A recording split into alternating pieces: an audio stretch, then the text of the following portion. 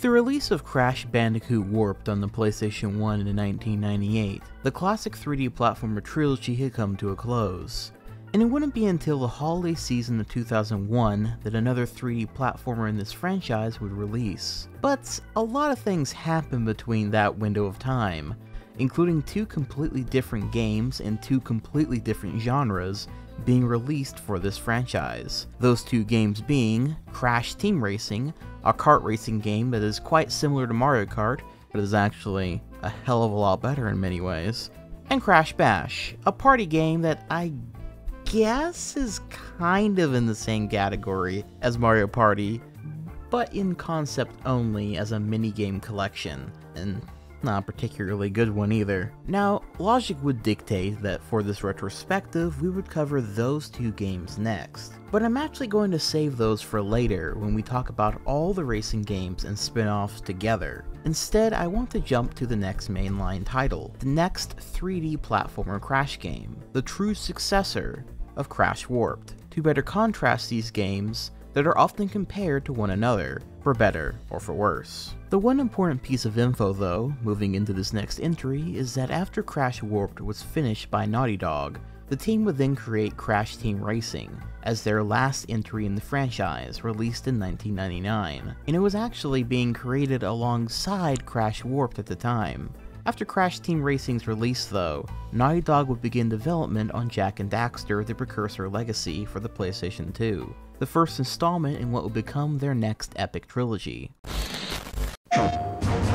Embark on an epic journey in a mystical world unlike our own. A world in search of new heroes. Heroes that stand fast in the face of evil. I was right behind you, Jak!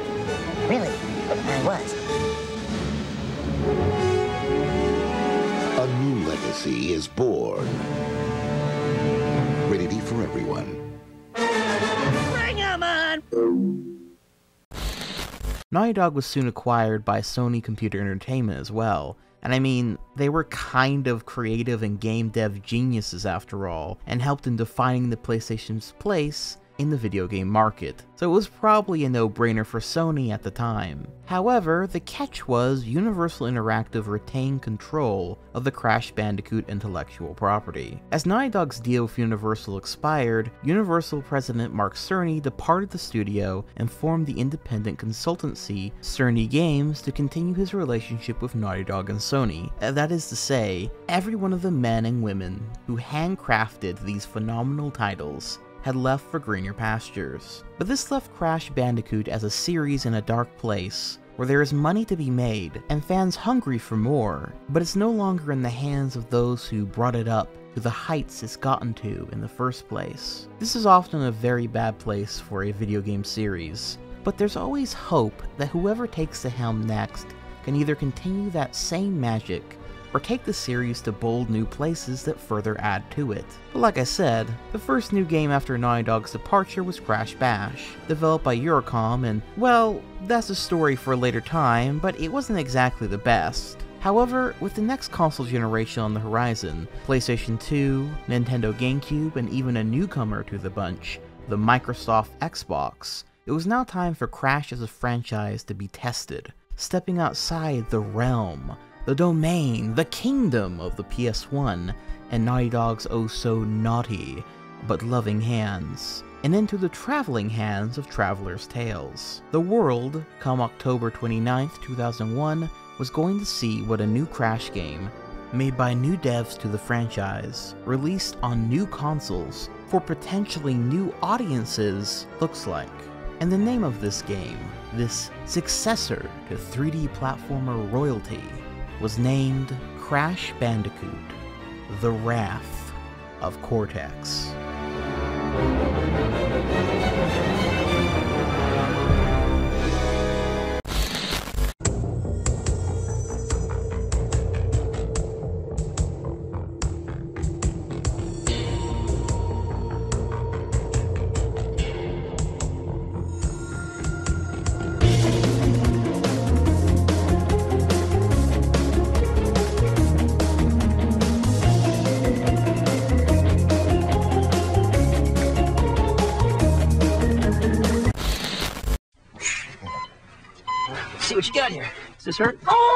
This hurt? Oh! Does that tickle? Ah! You know what's funny? This is my chart. Sometimes it's story time. Hey, what's for dinner around here? Share with your roommate, right? I need pepper. More pain, more game. Crash is back in his toughest adventure yet, The Wrath of Cortex. It's gonna be just like the good old days, only better. Rated E for everyone. you know my insurance covers sponge baths.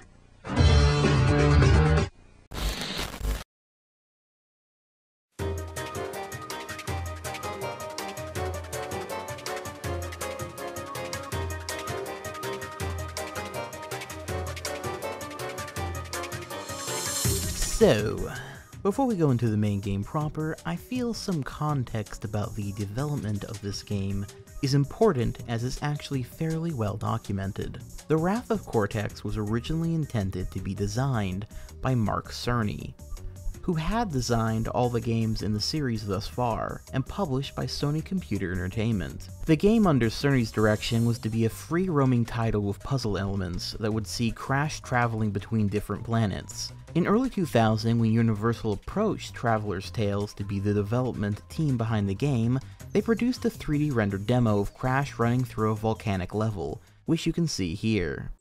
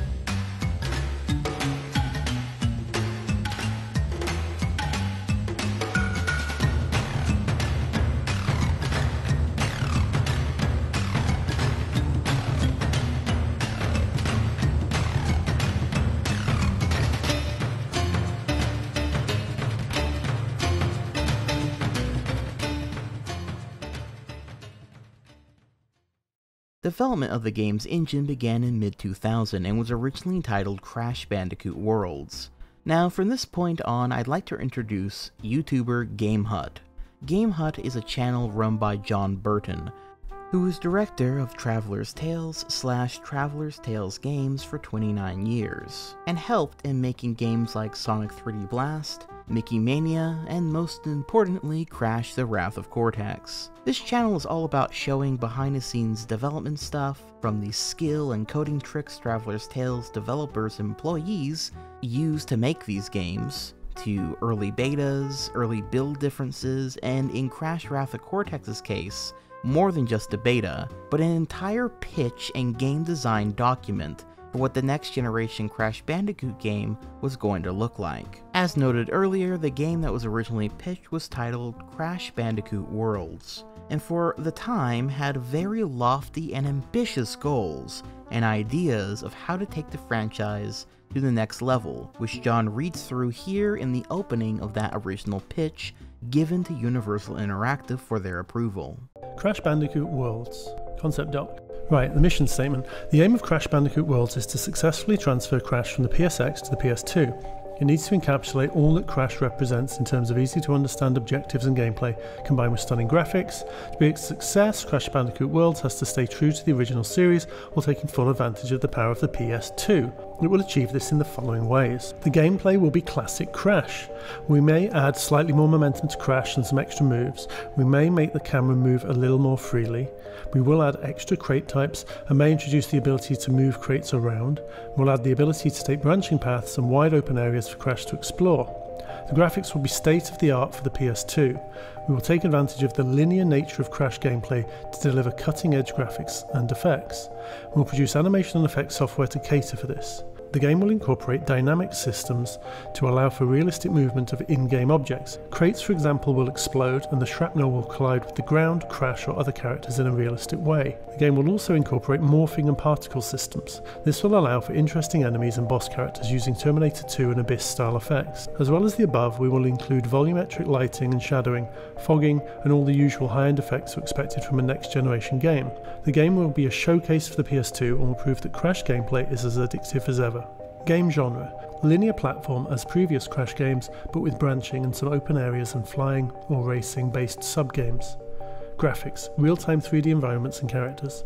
Art direction As previous Crash games, but with higher resolution and slightly edgier. The perspective, third person. The level layout, linear in game selectable from a level select screen.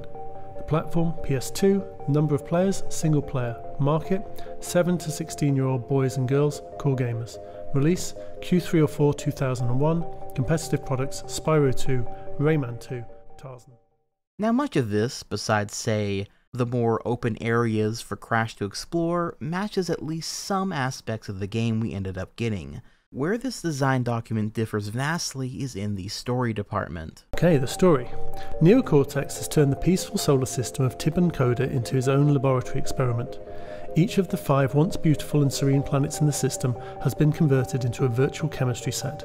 He has subjected one planet to extreme heat, another to extreme cold, blocked out all sunlight from one, flooded one with water. Then he has tried to create new species to survive in the extreme conditions. He has been employed by the ultimate evil, Elemental, her aim to create the perfect battle drone suitable to aid her conquest of the galaxy. Each of the planets has a neocortex controlled research center which keeps the planet in its extreme condition. Each research center is protected by a neocortex experimental life form. This is a boss. Crash has to find the passkeys to research lab from each level. Once he has all four keys, he can access the research center. He can then destroy the research base to return each planet to its natural state. He then has to defeat the world boss before he can get to the next planet. He then has to destroy Neocortex's orbital space station and defeat Neocortex and Elemental. There is a hidden bonus item on each world. Crash needs to find all five of them. Crash will receive the bonus item if he rescues all the indigenous inhabitants that he sees in the world. There may only be inhabitants on one level in each world. Now, I will get into the actual story of Crash the Wrath of Cortex in a moment, but needless to say, besides the Four Elements thing is very different from the story we ended up getting. Of note is the new main baddie, Elemental, who never ended up in the final release of the game. It seems that they were very interested in a new female character or characters in general for this game, as the design document also throws out three different new female character ideas including a possible new main love interest for Crash who would at first appear as a mysterious masked figure, another being an evil twin for Coco named Quoco, who was raised in secret by Neocortex and is mind controlled under his command and is not aware she is related to Crash and Coco, but by the end of the game, Crash would rescue her from Cortex's clutches. Remember this one because this is actually the closest to the final new character that was introduced to Crash Wrath of Cortex, but gender swapped. And finally, a rather interesting and oddly dark one, Rio, the daughter of Cortex, which I think I'll let Jon explain what she was meant to be here. Neocortex's daughter Rio appears in cutscenes and in game. She is basically good and tries to help Crash when she can. Neocortex and Rio converse in a similar way to Dr. Evil and his son, Scott. Neocortex is bent on destroying Crash, and Rio kinda likes Crash. Possible love interest. Neo may accidentally kill her at the end of the game while trying to kill Crash. Crash can save her if he is quick during end battle. Two endings, one sad, one happy. That is rather interesting and similar as the video suggests to a character that would appear in a different installment of the franchise. But we mustn't get ahead of ourselves. The document also lists Crash's moveset, which is near identical to Crash's moveset in Warped. It also notes the primary ideas for each of the four planets Crash would be jumping and spinning his way through to save, all of which would have been plunged into despair thanks to Cortex's meddling, such as a planet that has all the sun's lights reflected on it, or a planet that is completely flooded, etc. Each planet would have four main levels, which you could choose from in any order, plus a final level, which would be the research lab and primary base of Cortex's minions on each planet, which you would then destroy and fight a boss in, and then you could move on to the next planet. This is very interesting because it retains the freedom and level of choice seen from Crash 2 and 3 with their pick any 5 levels you want sort of structure, while also saving aside a special level for the end of each world. Thus, each planet would sort of be like a mini version of Crash's journey to stop Cortex and save the inhabitants, like in Crash 1, which I think is a genuinely super clever idea from both a gameplay and narrative standpoint. I really, really wish that this ended up making it into the final game. However, as cool as all this is, obviously this isn't the game we ended up getting. On September 21st of 2000, Universal Interactive Studios and Konami announced that they had entered an agreement that would enable Konami to publish a Crash Bandicoot game for next generation game systems, with Universal Interactive handling the production of the games. The agreement served to break the Crash Bandicoot's franchise's exclusivity to Sony produced consoles, and effectively made Crash Bandicoot a mascot character for Universal rather than Sony. This would officially make Crash a multi platform franchise from here on out. Not terrible news necessarily, though it does split the attention a fair bit for the developers. But then eventually Sony and Cerny had a falling out with Universal. I'm going to make an educated guess that the falling out had something to do with the game going multi-platform instead of being a PS2 exclusive, but it also could have been that mixed with creative differences, shall we say. Though, again, as far as I'm aware, this isn't exactly clear what exactly happened to make Sony and Cerny back out from this whole thing but I think my educated guess is uh, pretty well educated. But either way, Traveler's Tales was forced to alter the game from a free roaming title that Cerny envisioned to a standard Crash Bandicoot title. Traveler's Tales had to begin development from the game from scratch from then on, and were given only 12 months to complete the game, that we would end up getting. The developers had to rush to finish this game, its scope tailored back considerably, but with all that being said, how did it end up? What was the final product of that 12 month development cycle? Well, let's take a look, shall we? Starting with the story.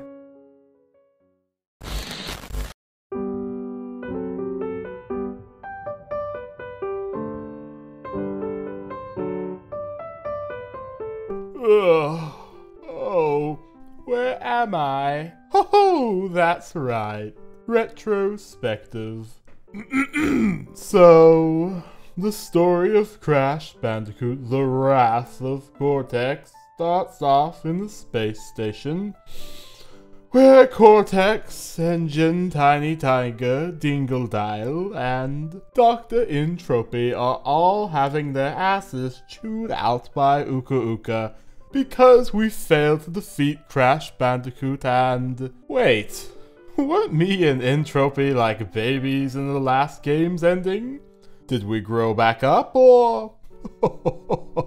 you know, I don't even want to know. Anyway, according to some chart, which is one of the dumbest things I've ever heard, we haven't been spreading enough evil around. Now, I would actually argue that I have been spreading plenty of evil around, even if Crash does end up stopping me each time. I mean, think about it this way. Did Hitler or Stalin not spread evil just because they were eventually stopped or died? it makes a little more sense when you think about it, doesn't it? now, now, I would have uh, argued this point with Uka if I wasn't strung out on uh, antidepressants and uh, meth. Ooh, Oh, I mean math. Of the crystal variety. Oh, you can really see it in my eyes. I was in a dark place, you know. I was even considering killing N. Gin just to feel something again. But I digress. Uka Uka wants us to come up with one good plan to destroy that bandicoot once and for all.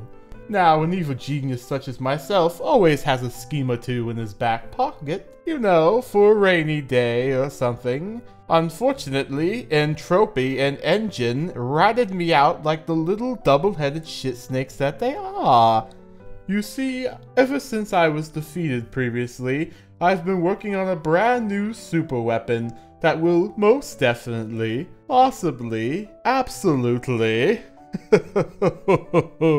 defeat that bandicoot. Of course, again, I need a power source, which is awful convenient. I've always needed a power source. Every single machine that I fucking make needs some sort of power source, and of course I have to obtain them, and then they'll, you know, you know, it's just, it's just tiring. I'm sorry. It's just, it's like my life is a video game, and someone's like setting me up to always fail. Uh, anyways, conveniently, right on cue, Aku Aku remembers a new power source that we can use to power my super weapon, the Elementals. A group of masks that, well, they have elemental powers. It's in the fucking name. Also, one minute, going off script for a second, I'm going to read their names.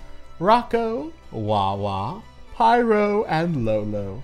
I have to say, the writers were not paid for this shit. This story is completely stupid. I mean, the evil chart? Really? There's a chart that just tracks the amount of evil we've done? And these names are completely stupid. Oh, what? Whatever. We're getting back on script. Anyways, with their powers combined, my super weapon, maybe, possibly, absolutely, question mark, could actually destroy Crash Bandicoot, take over the world. maybe kill N. Gin anyway. and maybe all these failures would have been for something. Get ready to face my wrath, Crash Bandicoot. Unfortunately, though, over on Schizo Island, Crash and his stupid little friends notice the natural disasters happening, and Aku Aku realizes that we are up to no good once again. So, you know the drill.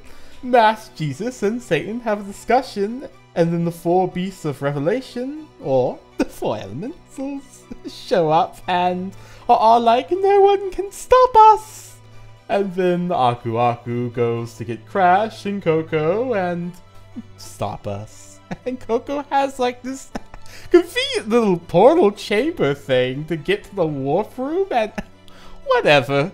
The important thing is I get to introduce the little beta cut Crash to the alpha male Crunch. A bandicoot souped up on steroids, five dozen eggs, and four elemental mass of mass destruction. He is everything Crash was supposed to be, but better, of course. Hmm. Maybe things are finally turning up Cortex. I mean, it is a new console generation. What could possibly go wrong? Am I right?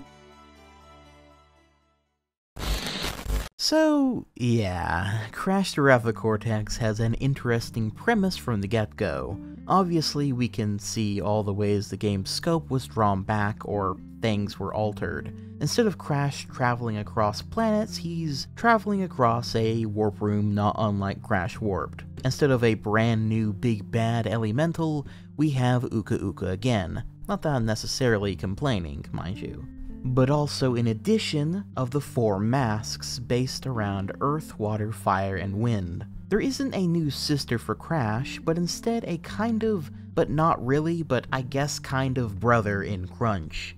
Crunch conceptually is actually the most interesting new addition to the cast for this game in my opinion. After all, back in the first game, Cortex surmised that a Bandicoot would be the perfect general for his mutant army to take over the world. And while obviously Crash ended up being a failure in that regard, Cortex was actually completely on the money there. After all, Crash Bandicoot has almost single-handedly thwarted him and all his minions, and Uka Uka three times now, alongside the help of his Bandicoot sister and Aku Aku, of course. If Cortex had accomplished his goals in brainwashing Crash, he would have no doubt had the most powerful weapon in his hands. But sadly for him, he had accidentally created his greatest, most powerful adversary. Again, tying back to those Dr. Frankenstein roots and themes and ideas. Thus, it makes perfect sense that Cortex would eventually realize this and want to try it again. In fact, while it's never actually said, I like to think that the reason Cortex was so secretive about Crunch's development is partly due in fact to, one, he knew that it was a very dangerous gamble considering what happened last time he tried to uh, get a Bandicoot to work for him, and number two, maybe he even intended on keeping that as a sort of trump card to get rid of Uka Uka in the future. Must be something we can come up with. Say, Doctor, haven't you been tinkering with some kind of new secret weapon in your laboratory?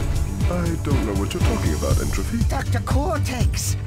I think he's referring to this super secret weapon you've been laboring over day and night since the last time Crash defeated you. Enough bickering! Do we have a plan? But that's just my headcanon and not at all in the actual game's story, mind you. At any rate, Crunch conceptually is a really cool new rival for Crash. But, sadly enough, after all those cutscenes, he's kind of half-heartedly actually introduced via this computer screen talkie thing. Crash Bandicoot, my old nemesis. How the heck are you? Still gathering crystals? Old habits die hard, don't they? My days are being spent on something much more intriguing. Meet Crunch, my newest creation. This is the creature who keeps sabotaging your master plan? Ha! You gotta be kidding! I'll exterminate this field rat in no time! Now, Crunch, your time with Crash will come soon enough. Isn't he brilliant? A testament to my true scientific genius. A real Bandicoot warrior. Unlike you, Crash. Fuck you, Oh, well, bitch. we all make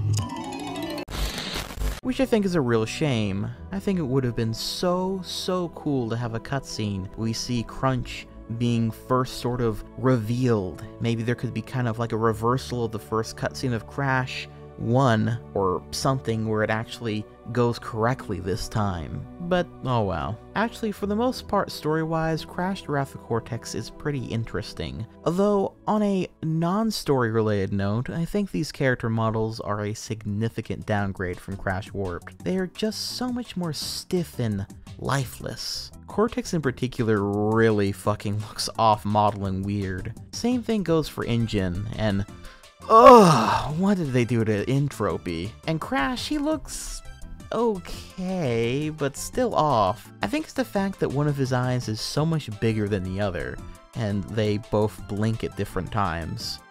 Ugh. Now, sometimes Crash's eyes had this effect back in Warped and Crash 2 as well, but it was a much more subtle and could almost be interpreted as Crash lowering an eyebrow, whereas here he has two distinctly different sized eyes. And also, the Coco model just looks dead inside.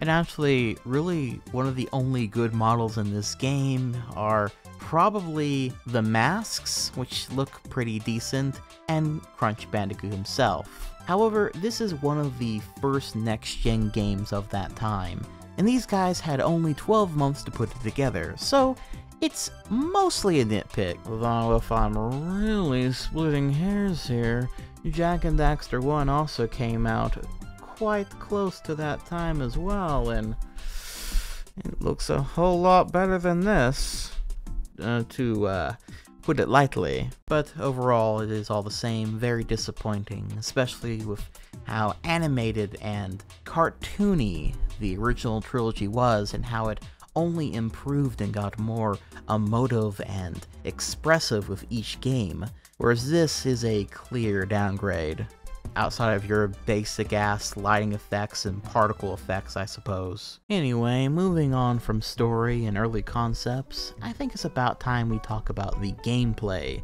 of Crash the Wrath of Cortex. Now, I've watched quite a few videos about this game, from reviews to retrospectives to video essays and beyond. And one thing that has kind of become customary to do when discussing this game is going through each level in order and discussing one's thoughts as you go along. If I'm not mistaken, I think Catacaris's old video about the game was the first to ever do this. But regardless, I think the reason this has become the format at which it's done is because Crash, The Wrath of Cortex, has a lot of strange one-off levels. There's a lot of new types of levels, and in general, this game repeats its themes far less than Crash 2 or 3. If one is to talk about the gameplay of this game, when new gameplay is constantly being introduced to the player in said game, it just naturally makes sense to go over them all in order. So I will be doing the same here. But, with all that said, let's jump right into it. Starting with Arctic Antics. This is an interesting first level. I think most people point out how different it is for the first level to be a, a snow-themed one in most reviews. Though I suppose technically any one of these first five levels could have been the first one that you picked, since this game works on the exact same structure as Crash Warped in 2, but all the same, stylistically, it is an interesting choice. Now, in the past three games, the first levels were careful to introduce different elements to the player in a way that eased them into the gameplay, and structure of the game. Here, this level also does that, but at a much more breakneck speed. This level establishes the core gameplay of the game, that is, spinning, platforming, dodging obstacles, collecting crystals, and getting from point A to point B. You can also go for the gem if you collect all the boxes in the level, which is fairly easy to do, as well as strangely enough, this first level also introduces death routes, something that they usually reserve to later levels in Crash 2 and 3. This is definitely a break from normalcy, but I'm actually not opposed to the idea of showing it early as new players can either quickly figure out why this platform has a skull and bones on it, while experienced Crash fans can instantly jump into a more difficult challenge, rewarding you with the first colored gem. The music of this level is also pretty catchy and bouncy, and actually as we go forward, that is one of the major positives of this game, is it has some really interesting and funky tracks. Not every one of the tracks is a banger, mind you, and I don't really know how many I would listen to outside of the confines of the game, but for the game, they usually fit pretty well.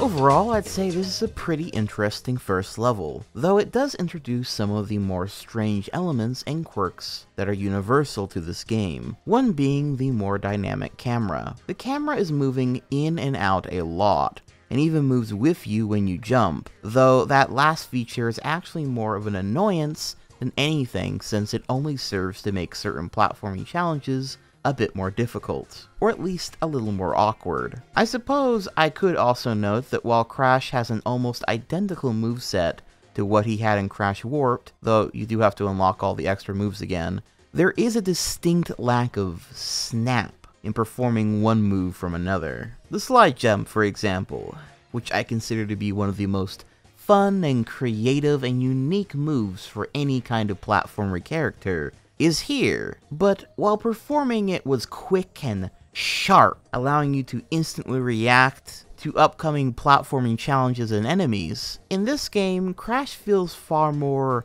lethargic, slow, floatier in general in all of his moves, from his basic spin to his slide jump. You do kind of get used to it after a while, but it just doesn't feel as good as Crash 2 or 3. In a 3D platformer, making the character fun to move around as, to platform with, is the key element in what separates the good ones from the mediocre ones from the bad ones, all the way to the great ones that stand above all others. Whether the 3D character has a very simple move set to a very complex one isn't actually all that important, so long as it is fun to play around with, that it feels good. The original trilogy of Crash games not only had this element, but also improved upon this idea with each entry. Here it feels like a massive step backwards. Crash doesn't feel that good to platform with here, and so no matter what this game throws at me, it just doesn't feel as satisfying as it did in the other games. The game is always slightly playing catch up with my button inputs, and I'm unsure if this was an intentional design choice or if the devs just never quite replicated the controls and game feel for the character of Crash right in that year they had in development. But either way, this is the final result, so we gotta deal with it. But keep that word I said earlier in mind, lethargic, going forward. In spite of the downgrading controls, this first level isn't too bad of a start design-wise. Tornado Alley. And right off the bat, we're jumping into a plane level, where you are constantly hearing this sound effect through the entirety of its runtime.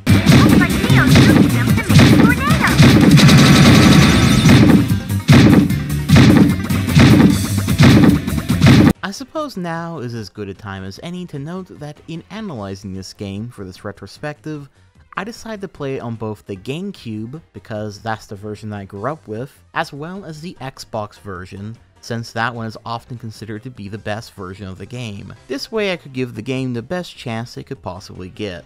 I also played a bit of the PS2 version, but not that much. I'll note the differences between the GameCube version and the Xbox version as we go throughout, but of note is that in the Xbox version, this constant loud noise has been fixed. In general, the Xbox version can kind of be considered a patched version of the game, and while it doesn't fix all the game's issues, it does try to get rid of some of the more glaring ones that I'll get into later. Also, Crash has a fur texture in the Xbox version, so there's that I suppose. Also, everyone notes this, but it is very much worth mentioning as well that on the PS2 version, the load times for levels are unbearably slow, with some of them taking up to 20 seconds just to load into and out of. This was again fixed in the GameCube and Xbox versions, as well as the Greatest Hits edition of the PS2 game as well. Oh yeah, the level itself? Uh, it's super fucking easy and ends in less than a minute if you know what you're doing. I suppose it's not unlike those in Warp to be fair, so moving on. Bamboozled. Ah, now this is the first of a brand new type of reoccurring level type in this game, Atlasphere levels. Atlasphere levels are basically where the gameplay turns into a pseudo, a monkey ball-like stage where there's no platforming, but rather it's all ball-based physics. You roll around, and you crash things up, and generally try to avoid falling off the edge and running into nitro crates. The physics and feel for this gameplay style is actually really fun and satisfying. There's a good amount of tension and a major amount of momentum that you can pull off while zooming through these levels at a fast pace. There's a nice flow to this type of level, this one in particular in my opinion, so much so that you can tell a lot of time went into the development of this gameplay style, what with there being 5 out of the 30 levels in this game being dedicated to it, after all. I'll talk more in depth about this gameplay style more later, as more levels come along, but I do in particular love the tubes and downward spirals of this level. It almost gives me a similar feeling to that of Sonic the Hedgehog spin dashing down a hallway. It is simply pleasing to the palate, especially when you're going after the relic here. Wizards and Lizards. Back to a standard platforming level, this one is actually very good. I love the music here and general theming of the level. It sort of feels like a Cortex Castle level or an extension of the uh, medieval levels from Warped. Though of all the level themes, this type feels probably the most far removed from the natural disaster themes of the game, generally speaking. There's this cool dragon chase halfway through the level, which is pretty fun, and overall, this level just feels like your old-fashioned classic Crash level. Something akin to the Triceratop chase levels, the Jurassic levels of Crash Warped, uh, besides the inferior controls, of course. Of note here is that this level also has a death route, which leads to another colored gem, which I bring up again because this game has a rather strange oversight regarding its gems. See, in Crash 2 and Warped, with very few exceptions, it's pretty difficult to finish a level with the crystal, the gem, and the color gem of that level in one single playthrough. This was either because the color gem was actually accessed through a secret path in a different level, or the color gem was downright a different route from the main path of the level, or required you to come back with a new ability to get it, or while one gem you need to break all the boxes, the other gem you needed to break none of the boxes, you get the point. This was done so you had to really explore and have reasons to come back to levels in order to 100% the game. While in Crash the Wrath of Cortex, every single colored gem is always stowed away via a death route, meaning that there is no longer any hidden paths and secret connections between levels like in 2 or 3. But also you can access the colored gems on your first attempt of every level that has one so long as you don't die on the way to the death route of course. I'll get back to that point in a second, but herein lies an interesting oversight. When you go to a death route in say Wizards and Lizards and grab the green gem, there is a warp thingy right there to exit the level, so that you can go back into it and attempt to get the crystal and normal gem if you hadn't gotten them yet. Or at least it serves as a convenient way to exit the level if you're coming back to this level to get the green gem. However, once you get the color gem, you can actually just die right here, and you will still have the colored gem in your inventory upon your next life, meaning that you can actually 100% nearly every level besides the relics upon your first playthrough, if you're good enough at the game to know this knowledge ahead of time. And of course, not die on the way to the death route. Bear in mind, you can die in the death route and continue to keep accessing it so long as you don't die on your way the death route. Now, this, funnily enough, does make completing this game far easier than before, but it's also a clear mistake they never accounted for the player doing, that never got fixed, even in the Xbox version. There are some people that actually prefer this design though, oversight or no, and really enjoy the fact that getting all the gems is far easier in this game than the last three. With YouTuber Penguin in Pajamas video titled, The Wrath of Cortex is consistently frustrating, being of this opinion, as he thought that getting the gems in Crash 2 in Warp was far too cryptic. Hot take? I actually think this is an improvement. Collecting all the gems in the old games was a massive headache. Not knowing which gems were accessible, having to backtrack without being able to actually see behind you. That one level that's only accessible by being killed by this specific pterodactyl? Yes, really and that red gem that hovers so temptingly, just out of reach that you spend hours trying to work out how to get to it, but you just can't figure it out, so you have to look it up online, and it turns out you were supposed to go to an entirely different level, then jump across these crates in order to get to this platform, which for some reason teleports you into a secret warp room with another entrance to the first level you're in, except this time you start in a new area which has an impossibly difficult ice skating section, that eventually drops you right on top of it. Of course! Why didn't I think of that earlier? which I wholeheartedly disagree with. This is not to throw shade, mind you. This video is actually very interesting in that he looks at a lot of the mistakes and flaws of Crash the Wrath of Cortex's design, and there are several points he makes that I actually very much do agree with him on, like the awful sneaking power-up being, uh, awful, which we'll get to shortly, or the dynamically moving cameras being unnecessary at best and intrusive at worst. Or the first level may be introducing too many things to the player at once versus the more careful approach the original trilogy took in showcasing all the game's core mechanics to the player at a slower pace, which I agree with somewhat, even though I personally think the first level of this game is actually pretty good, though I will concede that yes, it is far more haphazardly put together than the careful design of the original trilogy. But anyway, the big point here being, Gone is the level design that pushes the player to explore and find out all the secrets that the game has in store, so that you can one day master it fully. And in its place, we have a game that accidentally rewards you for killing yourself. Compactor Reactor. Okay, so this one is interesting.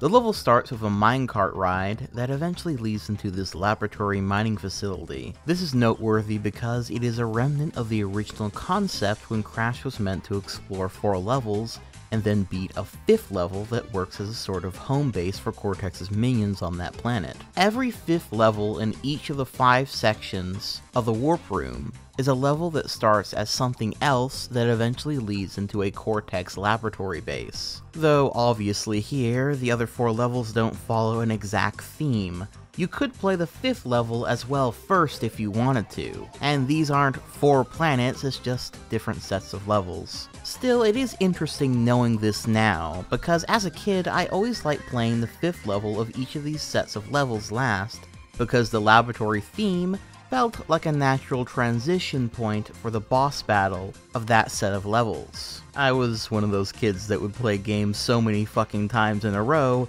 that I would start creating an optimal path that I believed was the best way to play the game, and would even have this narrative going on in my brain about the main villain communicating to the main hero and all sorts of other stuff. So, finding out that my stupid little kid headcanon was actually at least slightly correct is quite funny in retrospect. Anyway, these fifth levels in a warp room to me are usually very interesting aesthetically, because of the transition from a dangerous natural area into a Cortex lab, as it kind of works as a microcosm of the core aesthetic and themes of Crash Bandicoot.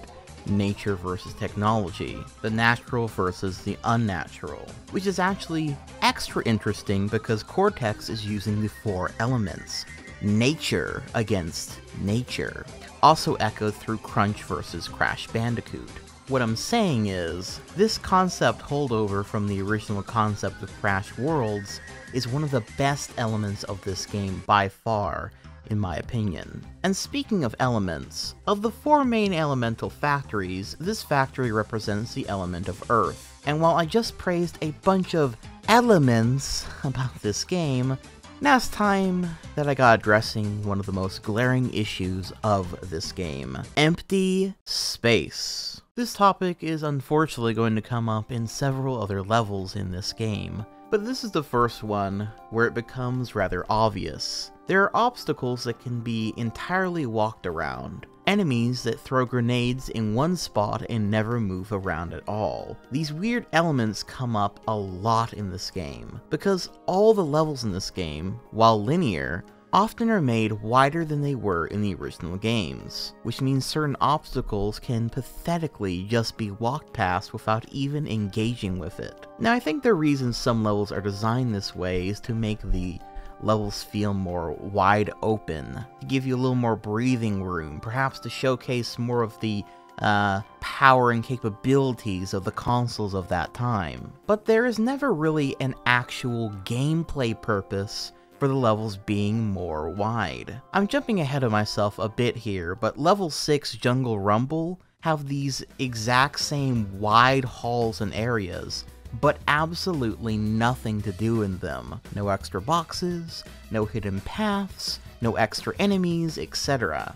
Hell, in the first area like this in that level, there's this giant pool of water that just serves as a means of killing you and nothing else. In the pursuit of trying to make this game look as if it is bigger and better than the originals, they sacrifice the tightly designed halls of the original trilogy, especially since the enemies legit have worse AI in this game than they do in Crash 2 and 3, and even in some cases where they are comparable, they are still a threat in the OG trilogy because they were unavoidable. You must run, jump, or spin past them in those games. Whereas here, you can just leisurely stroll by them without any care in the world. It makes this level, and many others, feel hollow, and oddly enough, more devoid of life than they were before.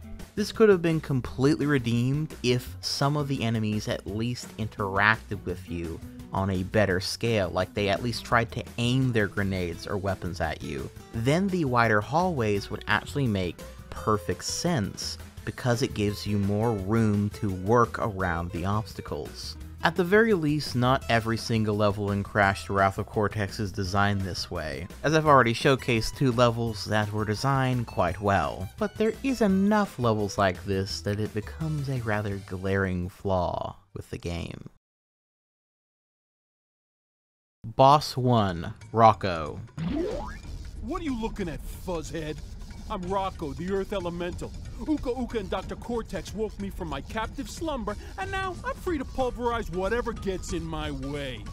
Oh, don't even think about collecting those crystals around because if you do, I'm gonna bury you alive. In a similar fashion to Crash Warped, the bosses of this game talk to you via little cutscenes between levels. However... Oh, I'm gonna shake, rattle, and roll your bandicoot butt. While these cutscenes serve the purpose of introducing these bosses to the player and uh, getting a sense of their personalities, as well as building them up a bit, in Crash Warped. In this game, I guess it also does that as well, but these masks are literally just one personality trait, and that personality trait is making puns about whatever element that they are. I know I'm skipping ahead a bit here, but take a look at some of these. They're gonna have to hang you out to dry when I get through with you. Hope you brought your sunscreen, cause you're gonna burn. Is there a draft in here? It's just so cheesy and dumb. It doesn't help either that while they are each an element of the boss battles, the main bosses of every warp room is actually Crunch Bandicoot, using one of these four elemental masks. A lot of people are mixed on this. Uh, some people hate that the only boss that you actually fight in this game is Crunch Bandicoot, with a different elemental mask rather than the colorful cast of villains and minions that you would go off against before. While on the other hand, many think that it's really cool that this new boss character is given ample time to fight Crash multiple times, like an ongoing rival for Crash to overcome. I personally fall into this latter camp, as I really like Crunch conceptually, and I love the idea of fighting him multiple times with different power-ups. It's Bandicoot versus Bandicoot. That being said, I do think Crunch doesn't get nearly enough screen time to actually talk. I mean, he does talk a fair bit, but it's usually just, I'm gonna freaking get you, Crash Bandicoot, and not much else. Well, well, looks like the Bandicoot's been busy collecting crystals. I warned you, Bandicoot. Finally, I get to wrap my fingers around your puny orange neck. I feel like the elemental masks, while cool, should have been bantering with Crunch as they both taunt Crash Bandicoot. The few times we do get dialogue from Crunch, as I said, he is just a typical bad guy who wants to defeat you. But I feel like there could have been so much room for more. Maybe he could have even disregarded and disagreed and bickered with the elemental masks as you went throughout the game, showcasing that he has a far more discordant personality and relationship with the masks than Crash does with Aku Aku. It would have been also interesting to see Crunch say literally anything to Uka Uka, or Coco for that matter. I think all this would have been a very cool contrast, and it would go a long way making these masks feel a lot more than just a pun PNG if they could banter with Crunch, even if they were still pun oriented. All that being said, the first boss is against Crunch and Rok-Ko, and this boss is hot fucking garbage. Not because it's difficult, mind you, but because as the first boss, it doesn't make any sense. And as a boss generally speaking, is a very silly and dumb gimmick boss fight. You see, the first boss is an Atlasphere level, where Crunch jumps in a rock ball and tries to hit you. In order to beat him, you gotta touch these other rocks and turn them blue, and this, for some reason, causes a chain reaction of rocks to fall on Crunch. You do this three times, with each hit point getting another rock you gotta touch before it works, and then the boss is over. Crunch can also hit the rocks you have already hit and turn them gray again, or if they are already gray before you're able to, like, turn them blue, you can turn the gray rocks into orange rocks. Though all this does is make them so you have to wait for them to turn gray again, as if you touch them when they're orange, you'll take another hit. But if he does manage to turn all the rocks orange, no chain reaction hurts you or whatever, even though the top of the screen almost seems to indicate something like that would happen since the game is keeping a counter of who's got which rocks turned what color. This is such a strange choice for a first boss.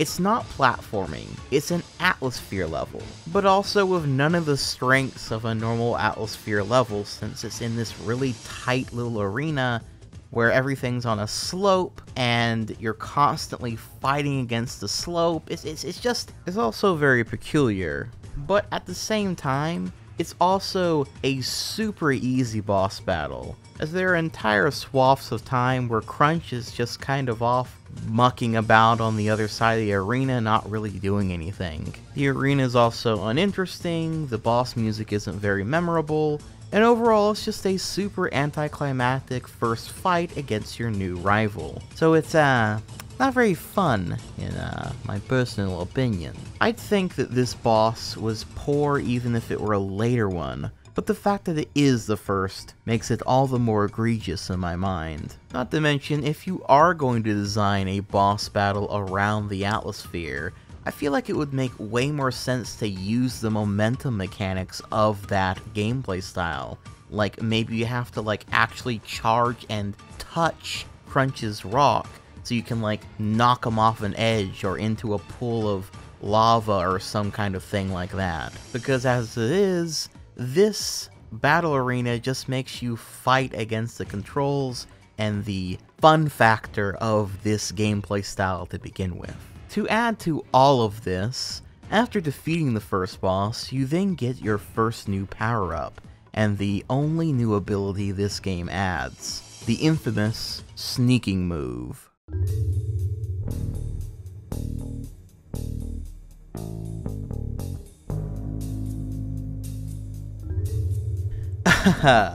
so, the sneaking ability is something that is in nearly every review of Crash the Wrath of Cortex on YouTube. From basic few minute reviews to longer retrospectives, everybody brings it up, and for good reason. It's the only new platforming a mechanic the game gives you and is extremely situational, silly looking, and adds nothing really to the core gameplay. The ability allows you to sneak over nitro crates, but there are only like three to four or five, I forget the exact number, or so situations where this is actually a mandatory mechanic to get through a section. And as I noted before in the Crash Warp section of this retrospective, every ability in that game, besides the Super Belly Flop I suppose, was designed to give you more platforming abilities, and make traversing through obstacles both easier, but also got fully utilized through optimization in the time trials of that game. The sneaky move adds nothing other than a slow and lethargic means of getting over a row of nitros. After all, it's fun to jump over and in between TNT and nitro crates, it's fun to double jump over them. It's fun to slide jump over them. It's fun to double jumps and slide triple spin over them, whatever. It's not very much fun to just slowly walk over them. Like I said, most people when discussing this game brings up this boring power-up. Some videos about the game even having it as their thumbnail. But the one thing I never hear people bring up are suggestions for what they would have for a new power-up in place of the Sneaky Shoes. It's easy to point out a bad new ability, but coming out with a new one, especially when this game already includes all of Crash's stacked moveset from Warped, but, you know, just way floatier edition of them, is far more difficult. Mind you, this is not me criticizing anyone for not coming up with a new move for Crash to use. I just really personally enjoy when others give their own ideas in place of the ideas that were there that they felt didn't work. So with that in mind, here's an idea I came up with that could have made for a more interesting power-up for Crash in place of these notorious sneaky shoes. I call it the spin slide. Made in the same vein as the slide jump, this move would propel Crash forward with a slide, but instead of pressing the jump button, you would press the spin button, which would serve as both a means of spinning quicker into enemies or groups of boxes, but would also allow Crash to do a sort of glide move across pits, sort of delaying his fall in a similar fashion to a Looney Tunes cartoon, before you would then jump up and out of the slide spin, allowing you to sort of glide over a section of bottomless pit. While the slide jump is all about getting vertical height, the slide spin would be all about getting horizontal movement. You could then design some jumps in the game to be extra far, so you, that you have to use this move every once in a while especially on death routes. But also also this ability could be comboed and fully optimized with your other moves. For example, you could spin slide off of a ledge, double jump out of that, and then tornado spin across the rest of the way, giving you maximum movement ability. Another smaller but important mechanic of the slide spin would be that the jump that you do out of it would have a little bit more momentum than a normal jump. Now, of course, ideally, if you were to introduce a move like this into the game, you would have some level designs utilize a skill, and maybe have some of the death routes actually be challenging. But it would also be a move that doesn't necessarily replace anything, and is more so just a, another tool in your set for platforming. But that's just my idea for a new Crash move. Uh, let me know what you think about this potential new move in the comments down below. Let me know if you think that would be a cool idea for a move or not. And more importantly, if you have any suggestions for a new move for Crash Bandicoot. Something that isn't necessarily situational, but something that adds to the core gameplay of Crash. But at any rate, moving on. Jungle Rumble. First level the second hub of levels, and this one is aesthetically and atmosphere-wise actually really quite nice. I love the rainforest look, and the music really sets this lovely mood. Sadly, that's where my praises end, as this was one of those levels that has really wide open spaces as I noted before, with nothing to do. Enemies that act like cardboard cutouts, and a chase section in a jeep that's, it's, it's okay actually but nothing groundbreaking. This level also has this exclusive little enemy that looks kind of like a weird little sonic-eyed tribesman of some sort. It's really out of place visually, and they're just kinda, kinda, kinda weird. This level could have been a lot better if it were more tightly designed, with maybe some ancient ruins like the rolling hazards and the like, or if there was ever actually any secrets to be found or different paths to be taken in this oddly wide level design. Seashell Shenanigans. Alright, now here's where the game design starts hitting its stride and just how awful it can possibly get. Seashell Shenanigans is the first of this game's swimming levels, which are some of the absolute worst levels in the game. See, I was never the biggest fan of the swimming levels in Crash Warped, but I never found them insufferable. I cannot say the same for the ones in Crash The Wrath of Cortex. The sluggish controls make maneuvering these levels and this one in particular, an absolute chore. That, combined with the wide up and down angles, making you overextend yourself looking for hidden boxes just in case, and some of the worst enemies in the game, these dumb red bomb things that fall on you if you pass over them, and are often hidden up and above you out of sight, these things make maneuvering through these levels either a constant spinning fest to get through them as fast as possible, or a slog to slowly swim through until you bait them out, depending on where you are. These things feel a bit cheap if you aren't aware of them ahead of time, but normally I would just suggest keep spinning and going through the levels as fast as possible, and you should be okay for the most part. But what makes these stages far, far worse is the fact that you can't actually always do that because of the inclusion of this circular submarine. In Crash Warped, there are these sections in the underwater where you get this like underwater jet ski type thing that allows you to blow up everything with torpedoes, boost super fast, blow up coral, and take an extra hit if you got damaged. These were by far the best parts of the warped underwater levels in my opinion. On the other hand, the submarine in this game gives you torpedoes and bombs that you can shoot from below you, which seems pretty cool, until you realize that this sub takes forever to turn. Instead of just turning left to right, since this is a side-scrolling stage, there's this weird and entirely useless middle state where Crash faces the screen before you fully turn from left to right or vice versa. This makes turning ungodly lethargic, which beyond adding to the terrible feel of the gameplay, this actually becomes a problem when combined with those red bombs that fall from above, as well as the other obstacles of course, because you now have a much bigger hitbox. You turn like the game is actively fighting against you you're forced into getting into this sub. And unlike Crash Warped, where the underwater vehicle gives you an extra hit, but you're rewarded if you keep it through the whole section to get the hidden boxes in the coral. In this game, if you get hit in this overly slow to turn,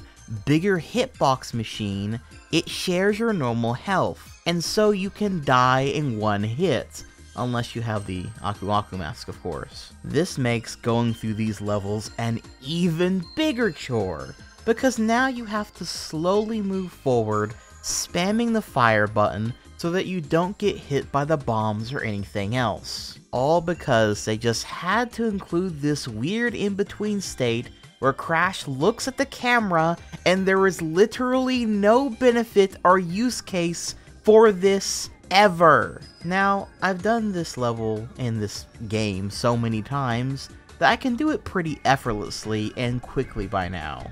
But it is nonetheless an awfully designed level, a terribly designed vehicle, and on top of that, the level is just so uninteresting.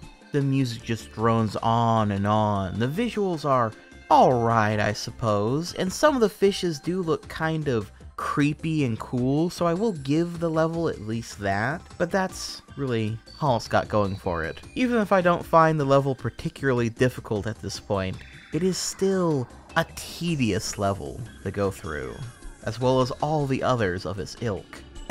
so, in short, I don't like it very much. Banzai Bonsai. So, for the next level, we have the first of the Coco levels in this game and the first in the Crash franchise where you get to play as Coco in a platforming stage. Now, before I move forward into this, I'd like to point something out that a lot of people seem to say about this game when discussing the Coco levels. See, Coco controls pretty much the exact same as Crash in this game, but without any of his new abilities like the slide jump, the double jump, the tornado spin, etc. I think the only move that she can get later on in the game is the running ability. This makes her moveset far more limiting than Crash's.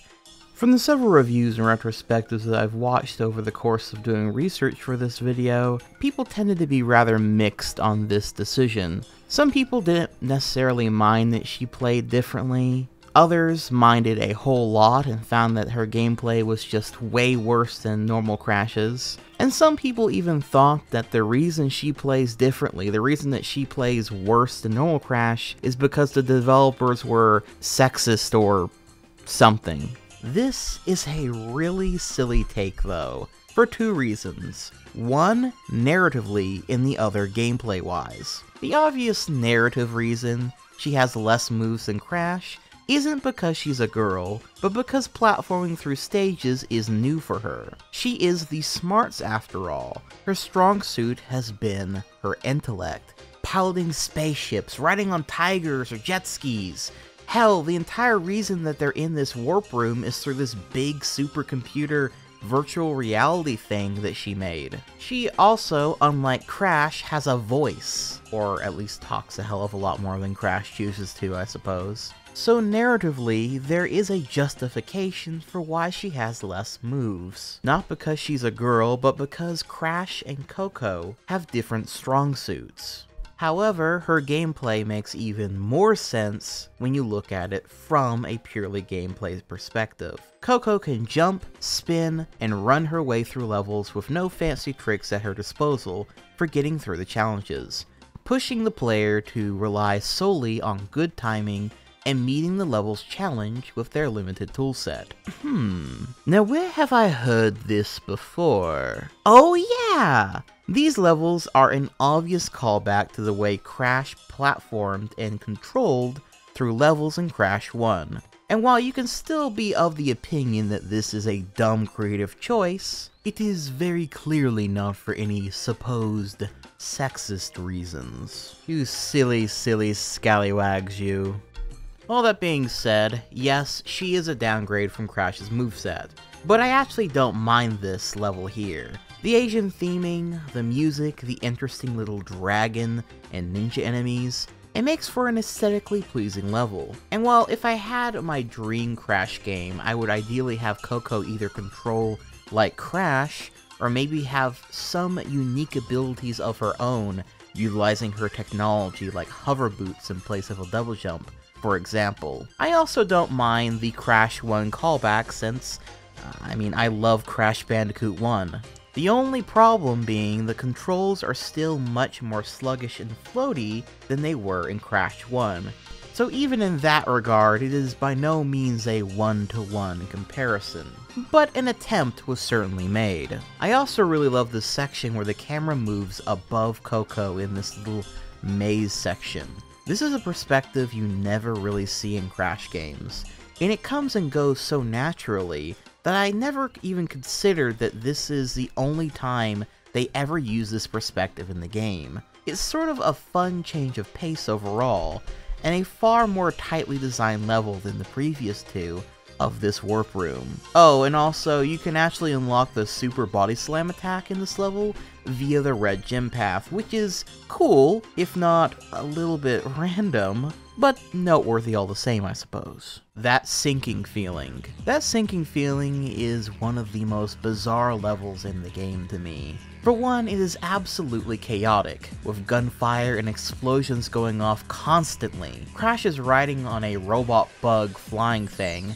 It's the only level where this vehicle ever appears. It has a unique gameplay mechanic in which it doesn't fire like any sort of projectile unless you lock onto your target first, and features Crash in a pair of goggles that he never wears anywhere else. This level is an absolute barrage on the senses, and gameplay-wise, feels just as boring as any other plane level, but way more annoying with how the missile lock-on works. But again, don't let all the loud noises and shit confuse you. It is still just a fly around in a circle until you blow up all the targets level. It's really not hard once you know how everything works, but it also is a level that development time was put into that feels pretty damn pointless. H2 Oh No. Alright, final level the second set of the Warp Room. And this level starts off in another awful swimming section with all the same issues I stated before being present, before then transitioning into an underwater Cortex base, which is actually a fairly decent level from here on. I like some of the thin margin for error rooms with the electrical floors and general aesthetic. There's some nice elements of platforming here. But it also suffers from really dumb enemies that once again just kind of stand there. Though this level in general is at least a little bit more tightly put together uh, than the first one of this kind. But again, not studying anything too too new here. The music here slaps though.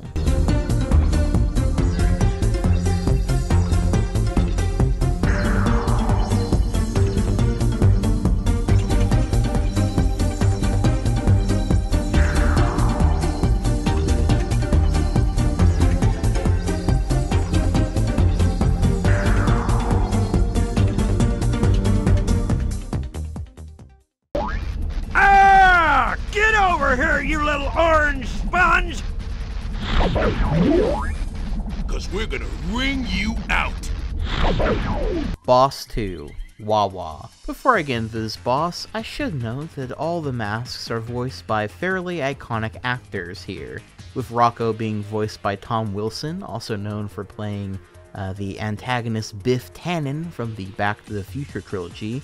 Wah-Wah is voiced by R. Lee Ermey, well known for voicing Sergeant Hartman in Full Metal Jacket, as well as several other military type characters. Pyro is voiced by Mark Hamill, who obviously played Luke Skywalker in the Star Wars films, but he's also very well known for playing the Joker in the Batman the Animated Series. And finally, Lo-Lo, voiced by Jess Harnell, who has quite the expansive list of voice acting performances over the years. But funnily enough, he's actually the current voice actor for Crash in all the new games. And he also voices Wakko Warner from the Animaniacs. Anyway, this has no bearing on anything, I just figured I'd note it. At any rate, the second boss is a lot better than the first. Crunching Wah-Wah throw these energy powers over at you that you gotta jump over while you get across these platforms until you reach him, spin him, and rinse and repeat.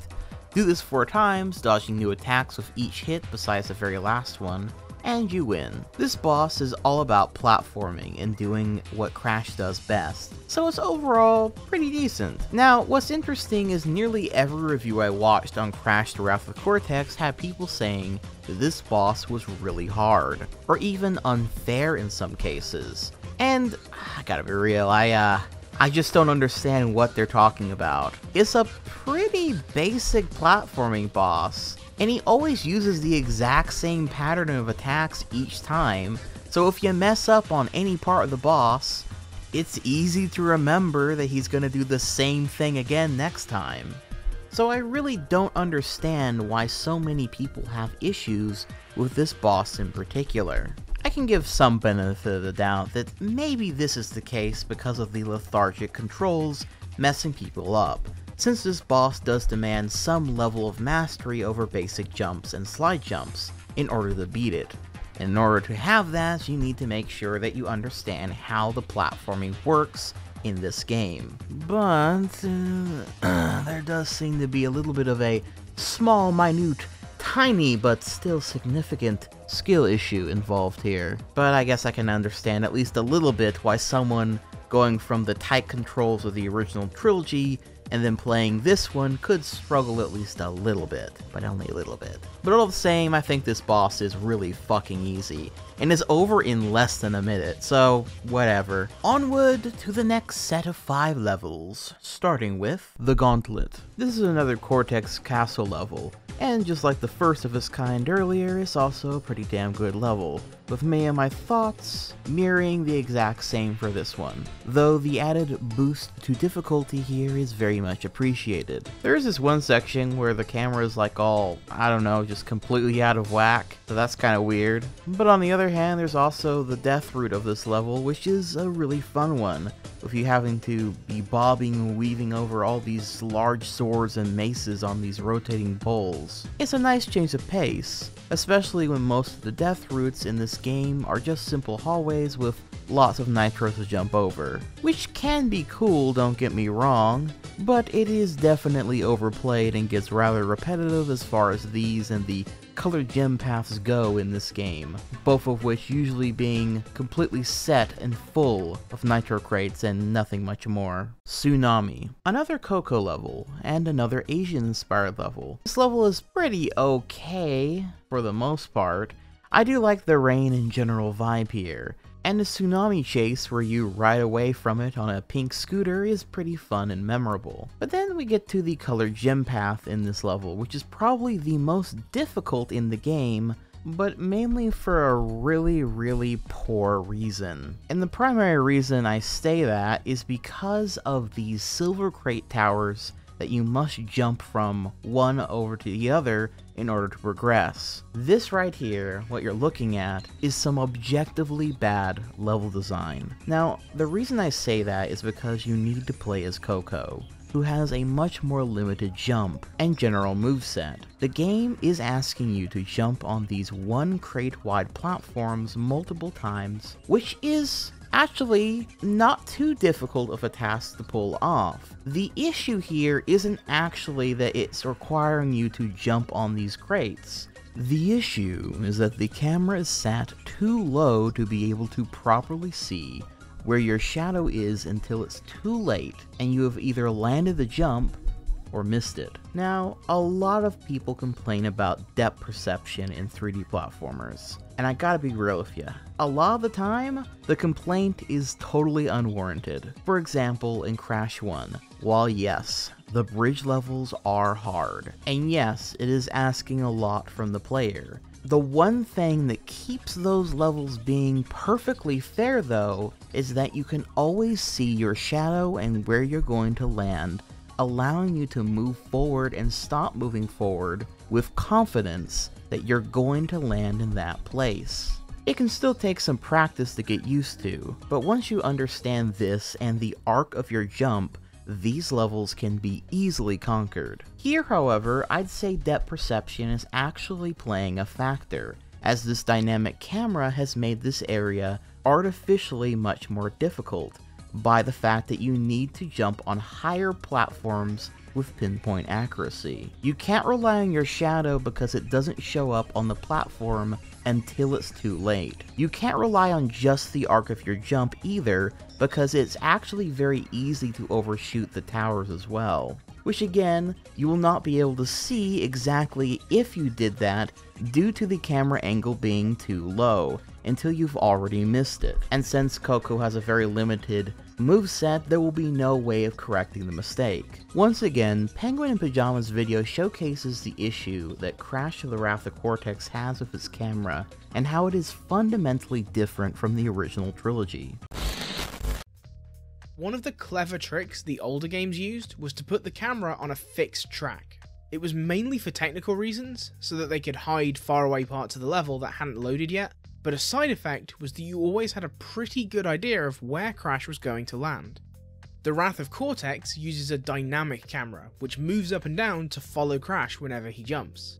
I mean, sure, it looks nice, but it makes it way harder to track where you're going to land, especially when you double jump. I mean, look, you can't even see the platform anymore. They've moved the camera closer to the ground as well. It's a bit subtle, but it makes a big difference in perspective. I mean, which one of these crates looks easier to jump on to you? So in other words, the landing zone is near impossible to see without jumping, which is life or death here in this section. The section is artificially more difficult because it's not dependent on your skills at the game to beat it, but rather forces you to kind of jump blindly and go off of your gut feeling alone. If the camera was adjusted to be more at an angle, or how even if it was just over the head like the other Coco level, you would be able to far more easily see your character in relation to the platform. Or hell, if the camera was just at least fixed, this would be far more easy as well. But no, instead we have this dynamic camera, which is completely, unequivocally useless and serves only to the detriment of the player if they're not good enough to compensate for this. Now all that being said, when I did this on the GameCube, I was still easily able to get through this section with just a couple of attempts, because I've played 3D platformers enough to kind of know the feeling of when I'm going to land or not. But even then, this area still trips me up.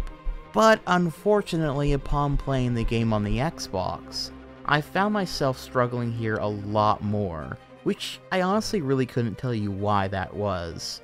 This section does have really bad level design, but it seems that my jump through the bullshit level design anyway skills were clearly failing me upon my second playthrough. I hate to say it, but I'm man enough. It was clearly a skill issue, even if that skill, in particular, was blindly jumping across a shallow pool of water on one buck-sized towers under the worst camera conditions imaginable. Now, all that being said, luckily this is the only section where this issue with the camera and depth perception becomes an actual big issue. And like I said, you can sort of feel your way through it if you're good enough. But this is all the same a really bad section of the game, and again, since people often bring up the depth perception argument when it comes to 3D platformers, without ever actually explaining what they mean by that, other than I can't make this jump, I kind of felt the need to showcase an example where I believe depth perception is actually playing a factor in a section being artificially more difficult due to the bad camera and the way that that section was designed versus what it is like at least 90 to 95% of the time it just being a hard section that you need to get better at. Smokey and the Bandicoot. Speaking of bad sections, this whole level is unapologetically awful on nearly every front that you could possibly imagine. It's a racing level that uses this Jeep that, besides this on-rail section back in Jungle Rumble, where it controlled completely differently for some reason, is the only level in the game that fully utilizes this vehicle. What's more is the controls on this vehicle are some of the worst car-related controls that I have ever used in any game, period. It's like this sandy road has ice physics, while the wheels are always trying to resist whatever you tell them to do, and the Jeep moves on a delay. All these strange movement quirks make going through this level, be it through getting the crystal by finishing the race in first place, or slowly and methodically coming through the level to get the gem, and somehow still missing boxes because of how broken turning or even making the slightest of adjustments. It is a constant chore. But always around this time makes me start to question why I'm bothering playing this game again. On top of that, there are pits that are hard to avoid due to the controls and other players that can easily knock you out of the way and into the pits. If you mess up even once, you can kiss coming in first goodbye, and the level requires a reset. And sometimes I swear when I turn the Jeep, it will just refuse to do what I say, and will stay the course into certain doom. It's a real shame. Like I said, I loved the motorcycle levels in Crash Warp, and found their controls to be fun and intuitive, if a bit stiff and this could have been a level of similar quality, a nice change of pace. But instead is just an annoying level that even if I beat it on my first try, I'm still not having any fun with due to how terrible and unsatisfying it feels to control. Oh, and also you're racing the other boss characters from the past games here. That is at least a cool detail, so I'll give the level that one little thing. That's kind of cool, but that's literally it. Eskimo Roll, the second of the Atlasphere levels, and this one is uh, pretty good. It's maybe a bit less good than the first Atlasphere level, but still pretty good. The layout is mainly about avoiding pits on downhill slopes rather than spiraling tubes or anything like that. However, as I said before, I do find the gameplay here to be at least fairly compelling, and I even enjoy the few moments where you have to be a little bit more precise whenever going over these big pits of ice and the like. What I do not find compelling about this level, however, are the boss characters of Tiny Tiger, Dingodile, and N. Tropy being reduced to extremely easy to avoid obstacles. Now, I just praised the last level, well, for like a second anyway, about those characters being in their little cars and you having to race them. I praise that mainly because it kind of reminds me of Crash Team Racing, and it's not like they're literally brain dead in that level, which I unfortunately cannot say the same for in this one. Seriously, it is just pathetic. Tiny tries to stop you, but he can't even hurt you if you touch him. He's just a literal block that can't even move fully to the left or right. Dingodile is a little bit better I guess though, since his attack actually can hurt you, and is sporadic enough that it might actually catch you off guard. Meanwhile, N. Tropy, God how the mighty have fallen. All he does is just stare there and shoot in one place with this pathetic, tiny little projectile in the exact same place, reduced to the same level of intelligence as those guys throwing bombs at fucking nothing. I seriously don't know what they were thinking with this. I guess maybe they just wanted to somehow include these characters in the game somewhere, since they were there at the start of the game, but since Crunch is all the boss battles, they were kind of reduced to just being dumb obstacles. Again, obviously they were pressed for time in developing this game, but you know, it's not actually the worst idea ever to have these past boss characters show up in levels to cause you trouble since they aren't bosses anymore. But imagine if in one of the plane levels, or uh, the spaceship level that shows up later on in the game, if after you mindlessly destroy all the big things out in space, if out of nowhere N. Gin came into the level via a portal with a big mech that serves as a sort of mini boss that you gotta defeat before you get the crystal. Maybe you could have Dingodile show up as a mini boss watching over the third lab, since it's fire themed. You could have Ripper Roo maybe watching over the second one since it's water themed. And Tiny could be watching over the first one since, I mean, I don't know, it just seems like a decent place for him. And the Wind Lab could be occupied by my pride and joy, Pinstripe. Because I want him back, alright? And you know, he had this big blimp, Zeppelin, air space level in Crash Team Racing, and yeah, it, it, would be cool, okay? I want more fucking pinstripe, please. Then you could maybe have Dr. N. Tropy appear in place of the normal mini bosses when you're trying to go after the Time Relic, and he rewards you with extra time if you beat him. Again, I know this is stuff that realistically the devs at Traveler's Tales just didn't have time for. But man, the characters of Crash Bandicoot are so cool and lovable, it would be great to see them more often. But not like this. This this just makes me sad. Fahrenheit Frenzy. For the final level of this bunch, we have the Volcano Laboratory. This starts off with this section where you're using a brand new vehicle that's sort of like a helipack of sorts. And this section is fine enough. Uh, it was kind of advertised all over the place with this game, this helipack. But it's actually only used here in the main game and in one other level we'll get to later. Though I will say that these green spotlights really don't look like they would fucking incinerate you if you touch them, but uh, you know, uh, they, they, do. So, uh, guess I'm the weird one. But at any rate, after that, this level follows the general structure of these lab levels. Though it does have this really cool section where you gotta platform through this x-ray vision panel that I think helps it stand out a bit more from the rest. It also has this extremely rare power-up that turns Crash invisible and invincible for a very small window of time that serves absolutely no purpose and appears only uh, one other time in the game, and it only lasts like 5 seconds, if that. So, uh, you know, that's, uh, that's neat, I guess. Uh, my guess is that this is a holdover from some kind of new power-up that they never ended up finishing, but for some reason couldn't fully take it out of this level and the other level it appears in, so it just remains here as this completely useless power-up and mechanic. Which, if that is the case, is also weird because all this power up does, gameplay wise, is make you invulnerable for an extremely short amount of time. And there is already a power up that does that. You know, the one that was in there from the very beginning since Crash 1, the Aku Aku masks? Or maybe this power up was meant to do something else that just never fully made it into the game. But, I don't know. You are making a mockery of me in front of my minions!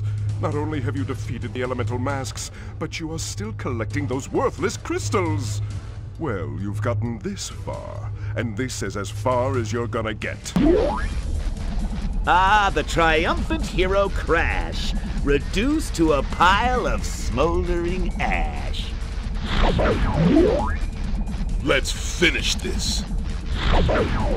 Boss 3, Pyro. For the third boss, we have Crunch and Pyro teaming up to turn into a lava rock thing. Gameplay wise, this boss sees you run away from Crunch and dodge his fire rocks, until you reach this mech suit that shoots water, I guess, uh, and then you chase after him now and shoot water at him. Conceptually, I actually really like this boss. Crash since the beginning has been running away from boulders and the like, why not have him run away from a boss? Actually, now that I think about it, Crash running away from a big rock would have been a much more clever idea for an element with the Earth Elemental boss instead of the hot garbo that we got, but oh well. Anyway, in execution, I kind of find the boss feels a little weirdly unfinished. Like yeah, you run from him and jump over rocks, but when you chase after him, it's really hard to tell if you're hitting him with the water spray or if, like what the range of it is.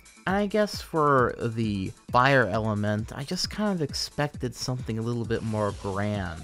I guess what I'm saying is, the boss isn't actually too bad. In fact, it's a decent Crash Bandicoot boss. It just seems, especially for the fire element, to be a little bit undercooked. But with that said, on to the fourth set of levels. I'm going to try and start speeding things up here a little bit, since a lot of the major points about the game's design has already been discussed at this point. We're almost done, but this owl isn't done hooting yet. Avalanche. Another Coco level, this one featuring an avalanche chase on a snowboard. It's short and decent, overall, not bad. Droid Void. This level is notable in that it is the first one to introduce the mech suit. Well, that is, besides, I guess, the third boss, but that's like a different colored mech suit with like a different gun, whatever.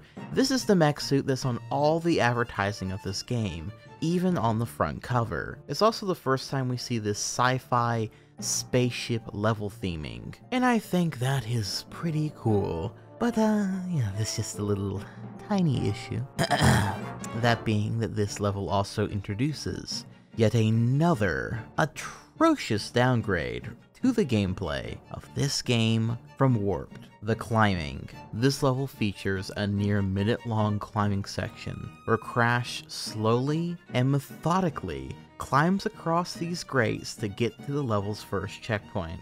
Once again, the word lethargic must be brought up. The climbing in this game is just so needlessly slow, it completely breaks the flow of any level that it's featured in, and serves literally no purpose whatsoever being this slow. I mean, it's bad enough on a basic playthrough of the level, but let me tell you, this level and any other that it comes up with later are absolutely terrible to get the relics in. Not even because they're hard, but because if you fail, which, you know, odds are you might fail once in a while on a relic, then you're going to have to be forced into the beginning of this level to climb across a full minute of grates every time. You're forced into this no skill, no means of going faster or skipping past them climbing grates. The question must be asked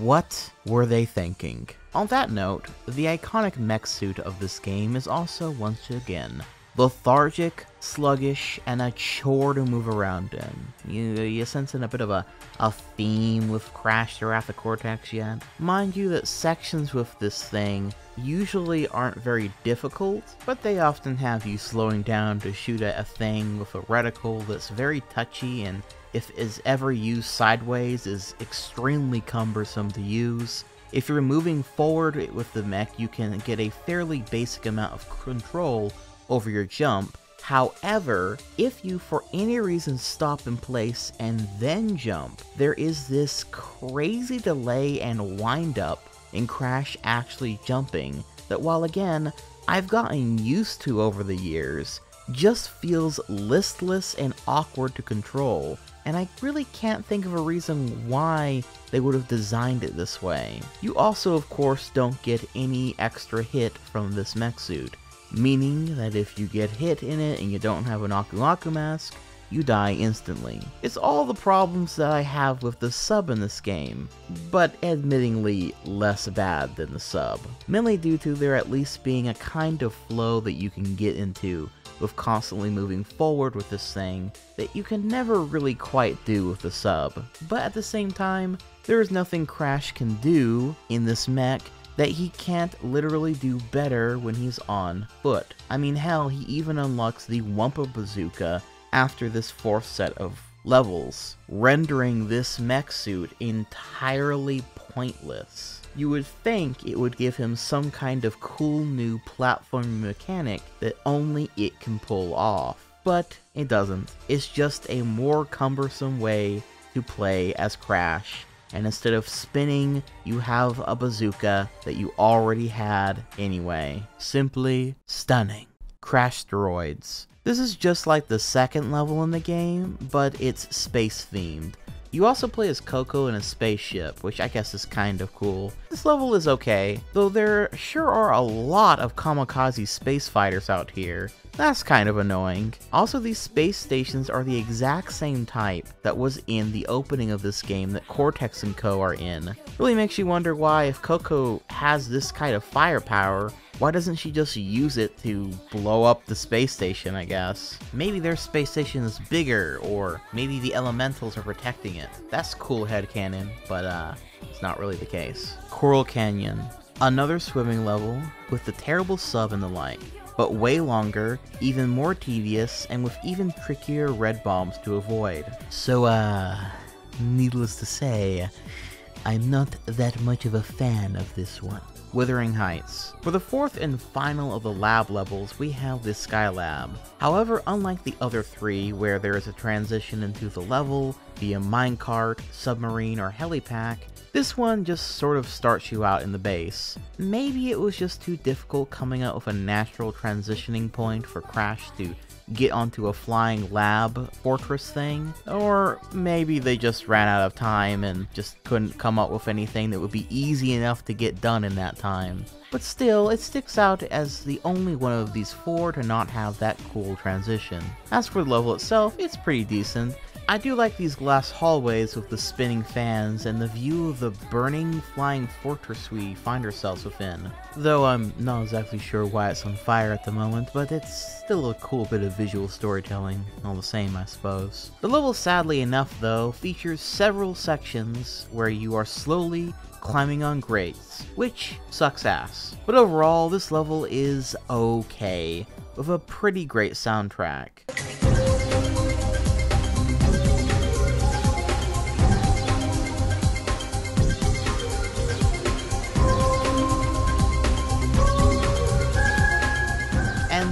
Other appearance of the invisible power-up. Again, serves no purpose. Cortex! Why is that mindless Marsupial still collecting those crystals? He's defeated Rok-Ko and Wah-Wah! I'm beginning to question the value of your super weapon! I don't need another mask's help. I could take this crash punk out with my metal arm tied behind my back. Ah! Oh, Crunch. Stop being silly. Uka, he will use the elemental masks. No need for you to lose any beauty sleep. Hey, look! The orange boy likes to fly! Time to earn your wings, kid. Boss 4, Lo-Lo. Finally we come to the last of the elemental mask fights, and let me just say that of all the masks personality-wise, Lo-Lo is without a doubt the worst. Not used to the weather here, I uh, a wimp. At least the other masks tried to be intimidating with their dumb elemental puns. This is just stupid and lazy. Also, it seemed like Pyro was the leader of the elementals, since he commanded the others to fire on Aku Aku back in the beginning cutscene. But he's the third one you fight instead of the fourth. Curious. Sort of reminds me like in Crash Warped where N. Tropy, who seems like he should be the fourth boss, is actually the third boss. Though apparently I've heard there's some information within the beta or something that originally Pyro was going to be the last boss. I don't know. It, none of this really matters, but still, it's uh, it's an interesting connection all the same. As for the boss fight itself, we see Crunch and Lo-Lo using the powers that be to become a giant tornado, which visually I think is actually the coolest of all of them. Because the others just kind of made him like, okay, like the first one, he's just in a rock circle. And the second one, he becomes water, which could have been cool, but it's, you know, he's just water for some reason.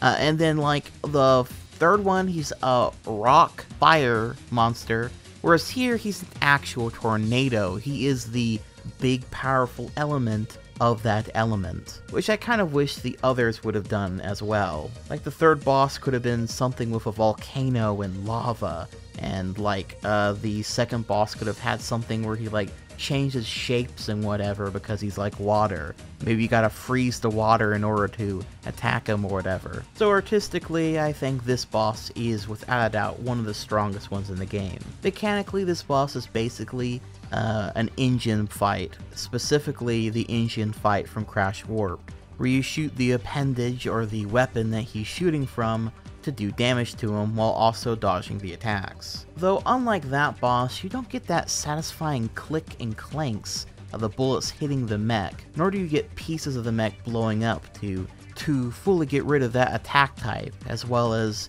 visually showcase your progress on the fight. Here is a lot less satisfying shooting him without his speared arm blowing away or something like that. That would have been a cool way to do that. That being said, this boss isn't terrible by any means. I mean, that's not a deal breaker. It still has the bones of a great N. Gin boss battle, which are generally some of my favorites, if not my absolute favorites in the series. It's just, again, a bit of a downgrade from N. Gin himself. It's also a fair bit more challenging than the other bosses, too, since you gotta fight him for far longer and dodge his attacks far more than you would the others. And some of his attacks are actually a bit tricky to dodge. Hell, there's this one attack that he does where he shoots this big electrical thing up into the air and you have to like fly into the right space so you don't get hit by the electrical line. And this attack is so tricky that most people that I've seen review the game don't even realize that he actually telegraphs where the safe space is. Again, not throwing shade, I just thought that was kind of funny that most people just assumed it was completely random. Well, here we are again. I wouldn't necessarily call this irony, but don't you find it a little odd that we keep meeting under these same world domination circumstances? Why not just give up? And let me win for once! Don't worry, Dr. Cortex. Now that my elemental powers have reached maximum capacity, this little geek is gonna wish he was never created. And so we get to the final warp room. All the masks have been defeated, with only Cortex and Crunch ready for the final battle awaiting you. Bring it! Great Bandicoot. And to start things off, we have an actually, unironically, great level Crash and Burn. Crash and Burn takes place on an island with a volcano erupting and causing havoc. And, huh, this looks kind of familiar. Yep, this level is the leftovers from some of those startup pitches about the game. And while that alone doesn't necessarily give or take away any points for my thoughts on this level, what does give it points is this great music. The beautiful visuals with the lava and the sunset lighting really creating an absolutely beautiful atmosphere. Add that with the genuinely good level design that actually encourages and rewards you for fully using your entire moveset that you've collected up to this point, plus the unique level setting that only gets used this once here, and this is without a doubt one of the best levels in the game by far in my opinion. Gold Rush. That great level is then followed up by a pretty damn good level as well. Gold Rush is the first and only level on the main set of levels to have this old western theme. But it's a really fun vibe to see, Crash running and spinning through all the same. The soundtrack is also really catchy here. On top of that, this level also is the longest in the game, with several unique enemy types and obstacles that only show up in this one level. Something about seeing Crash Bandicoot jump and spin his way through an old western town really gives me Looney Tunes vibes. I'm almost half expecting Yosemite Sam to come around the corner and try to shoot Crash Bandicoot. There is also a minecart section that, while a little bit random and definitely slows down the pace of the level, it doesn't go on for too too long and isn't annoying to control at the very least. Matter of fact, the only real thing pulling this level down from being as good as I believe it could be are all the climbing sections in the level, which majorly bring down the pace even further and are just annoying to get through. But besides that annoyance, the general level design of this level is good. So, so far, this fifth warp room has been pretty damn good. And it has unique settings for each one at that. So let's see how these two are followed up. Medieval Madness. Ah, another Atlasphere level, this time medieval flavored with yet another amazing soundtrack. This level unfortunately still sees Crash's former enemies being used as total dummies in several places across the level, but besides that obvious eyesore and insultment, this level isn't too bad actually. I do think it's my least favorite of the Atlasphere levels thus far though, and probably my least favorite of the Atlaspheres overall, if we're not including the boss battle, which would definitely be the worst. It's still pretty interesting, and not a bad level, but I do wish more of these levels reached the highs of the first Atlasphere level. I feel like the emphasis on going through tubes and up and down slopes and the like is really the type of design where these levels do their best, and there's not really much of that here. Crate Balls of Fire. Crate Balls of Fire opens on a forward camera grate section, so uh, not off to a strong start. This level besides that section though is just okay. It does feature a part where you're running away from this big explosion of sorts in a mech suit, and in general, three quarters of the level is played within that mech suit, and while the chase section is kinda fun, the rest of the level is pretty forgettable to me. Cortex Vortex. Finally, we reach the last level of the game, Cortex Vortex, and it's actually pretty good. Aesthetically, this is a really magnificent level, with the use of the dark blue and spiraling lights serving as a good contrast against the orange Crash Bandicoot. The music is climactic and clearly building towards your final confrontation with Cortex.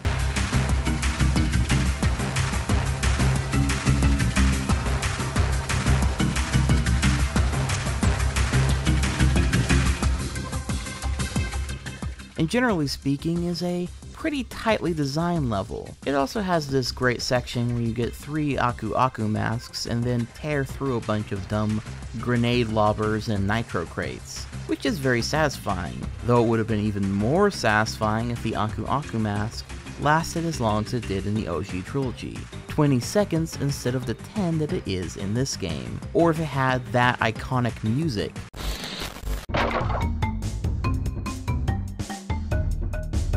What have I got?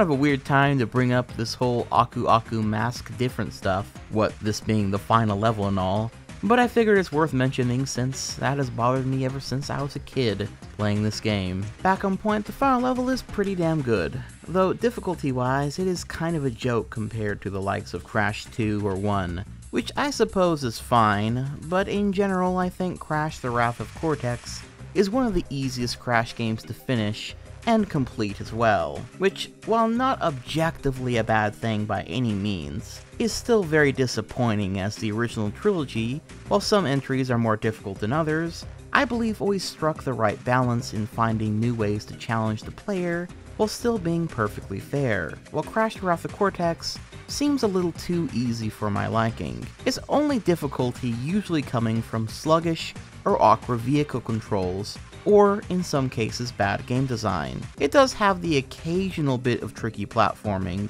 but overall the game is just far too easy most of the time, and it feels rather hollow for it.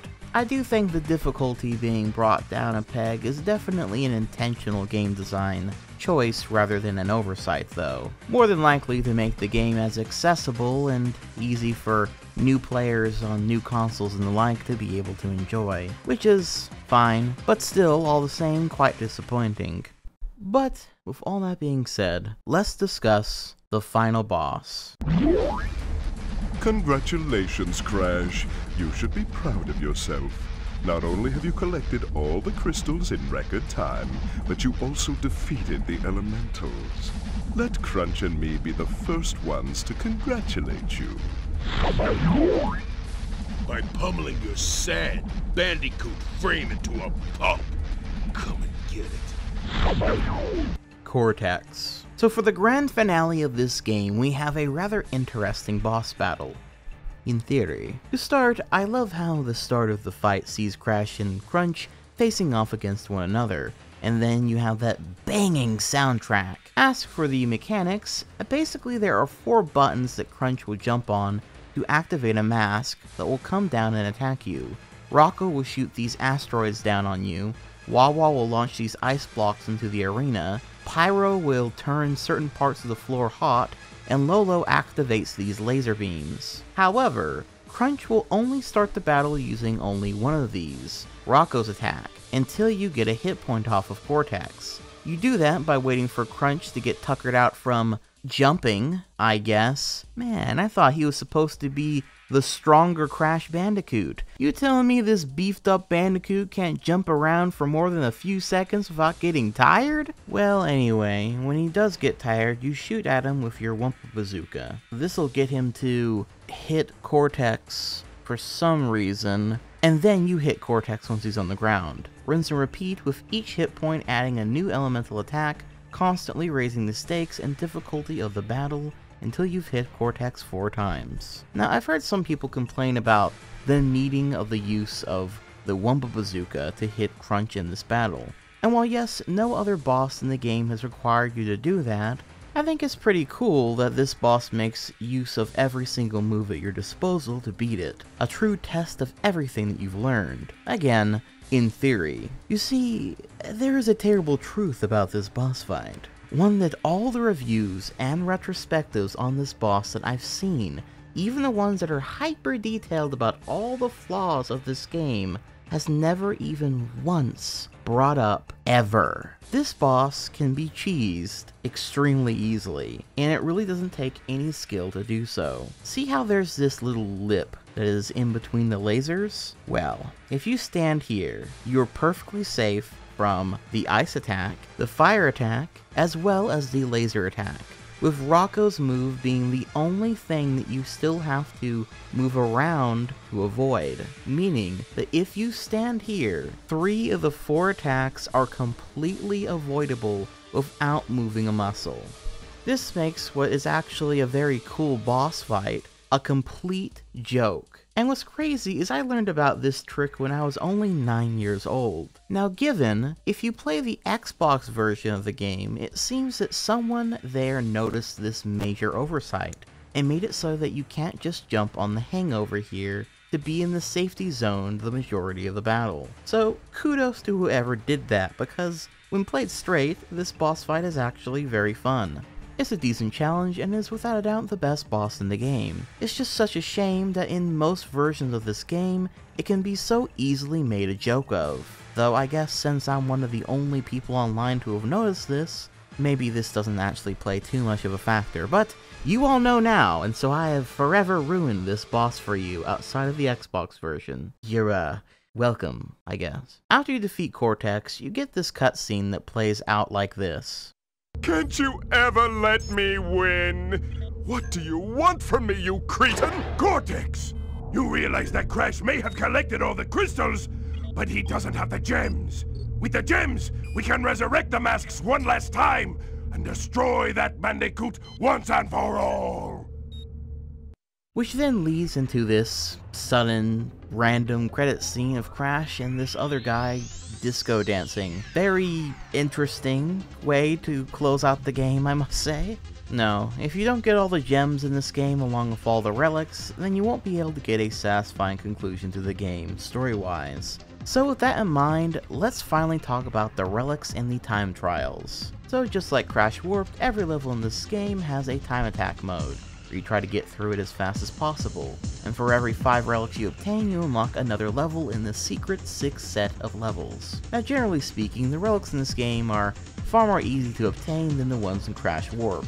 Though as I've mentioned before, the lethargic and floaty controls, mixed with levels that have minute-long sections of climbing on slow grates like Droid Void, and the like, really slows things down to a crawl. As I stated before, Crash Warped was designed with speed in mind, and going for those gold or platinum relic times in that game with all your power-ups really recontextualizes all the levels, and helps in really appreciating how Naughty Dog not only made these stages fun on a first playthrough, but a whole new kind of fun on a second time trial run. However, this finer point in Crash Warp's game design is something that I don't often see brought up, nor does it seem to be an element that was focused on whatsoever in this game. There are some levels that feel okay to speedrun through, mind you, and I still had some fun trying to get through some of the levels and get the best times, but without those snappy controls of Crash Warped, it just never feels as good to me. Oh, also weird fact. So, whenever I was first going through all the time trials, because I was first doing it on the GameCube version, I thought the Sapphire Relic time was the Platinum Relic time at first, because the Sapphire and Platinum Relic models look so fucking similar, especially when they are super small like this, which is I, don't know what they were thinking with that. Why didn't you make the Sapphire one just bluer to make it extra clear? I've also heard that in the PS2 version, which again came first, has different time relic times than that of the GameCube and Xbox versions, with most people saying that the PS2 one originally had relic times that were way, way easier to platinum and that this was one of the things that they fixed to be more challenging in the GameCube and Xbox versions. It says this on nearly every Crash related wiki that I could find, but not a single one of them ever actually tell you what the relic time differences are between the different console versions. I looked high and low and could not seem to find anything about the actual numbers for this, which is weird since so much beta and console differences are usually well documented with this game. I was even desperate enough to try looking through uh, Let's Plays, I tried looking at old walkthroughs to see if the timings were different or anything, and unless I'm missing something, it seems like all the times are exactly the same as the GameCube and Xbox versions. I would play through this game again on the PS2 just to see if the times are in fact different or if this is a myth. But uh, this video is already long enough as is, so maybe one of you kind commenters can go do that for me and let me know if this is really the case. Anyway, let's talk about the last 5 levels in this game that you can unlock via collecting at least the bitch blue relics. Nighttime. For the first of these extra stages, we have yet another Cortex Castle type level, but this time featuring Coco, and this one's pretty decent, with one of the best tracks in the game no less.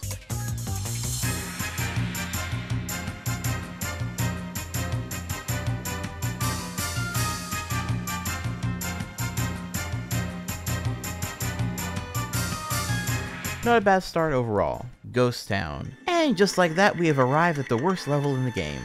This is not even a matter of opinion. This is probably one of the worst levels in Crash Bandicoot history.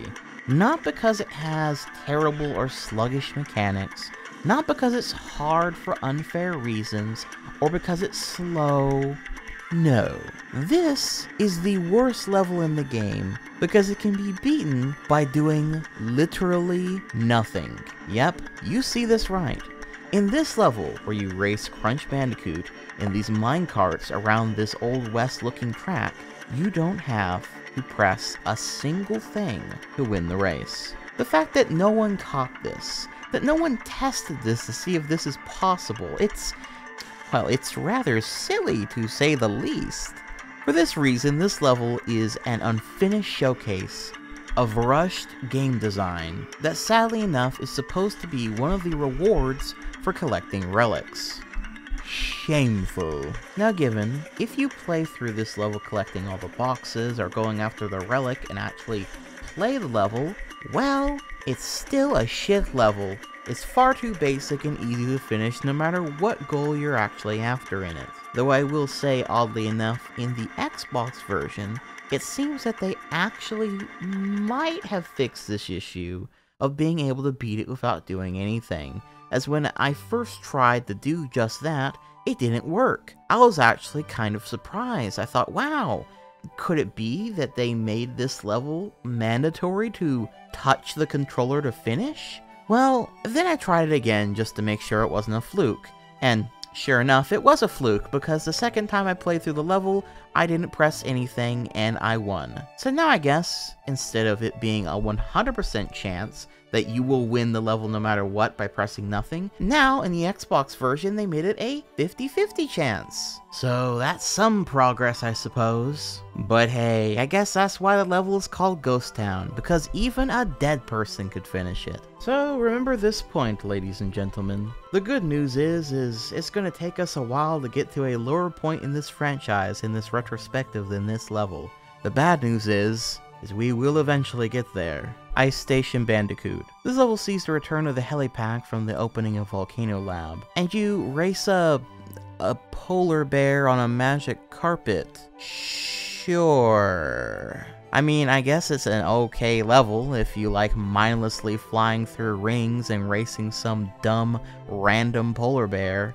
Again, this one just feels half-baked and pretty underwhelming overall. But if you're a big fan of Superman 64, then, you know, this level's got you covered. Solar Bowler. This is the last of the Atlasphere levels, and I actually think this level is alright. It's a decent up and challenge, the atmosphere is unique, the topsy-turvy platforms really test your skills at maneuvering the Atlasphere, and yeah, overall, a pretty fun level. Force of Nature. And for the final extra level, we have this very underwhelming Coco level, where she's on a snowboard. It is kind of notable in that I find the controls here with it, when trying to use it to platform up and get the midair boxes to be, well, really awkward at best, and absolutely infuriatingly annoying to control at worst. So this level serves as one last little bit of irritation before the game is over. Other than that though, there's nothing much special about it. So overall, the majority of the extra levels are pretty lackluster,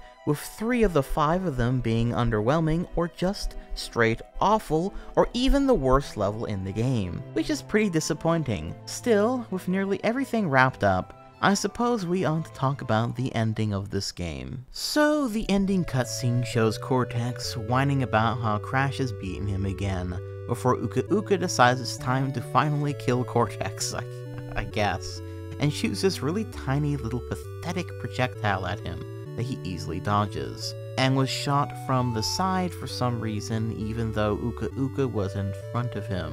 Uh, wh whatever, whatever. Can't you ever let me win? What do you want from me, you cretin? No, Uka Uka, I can explain. It's too late for that now! Uh, I don't think you should have done that. Uka Uka accidentally hits something vital in the space station, and then Crunch wakes up from being beaten and is no longer under the brainwashed control of Dr. Cortex, and now he's awake and ready to kill Cortex. But Aku Aku advises against that. Oh, no. Where am I? Wait a second. That annoying scientist doesn't have control over me anymore. Where is that pathetic twerp? There's no time for that now, Crunch. Danger. Critical power overload in Evil Space Station. Run for your lives. So Crash and Co. escape the space station, and Cortex in his dead-eyed stare and completely expressionless eyebrows now tells Uka Uka that they should do the same. I think your energy bolt caused a slight chain reaction. It might be wise if we made our way to the escape pods. This is all your fault! If you hadn't ducked out of the way, none of this would have happened! This doesn't look good.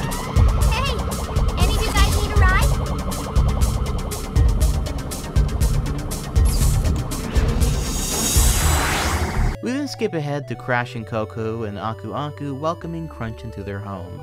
They broke the doctor's power over him and gave him back his free will, something he's very thankful for. And Crunch says this one line about believing in him.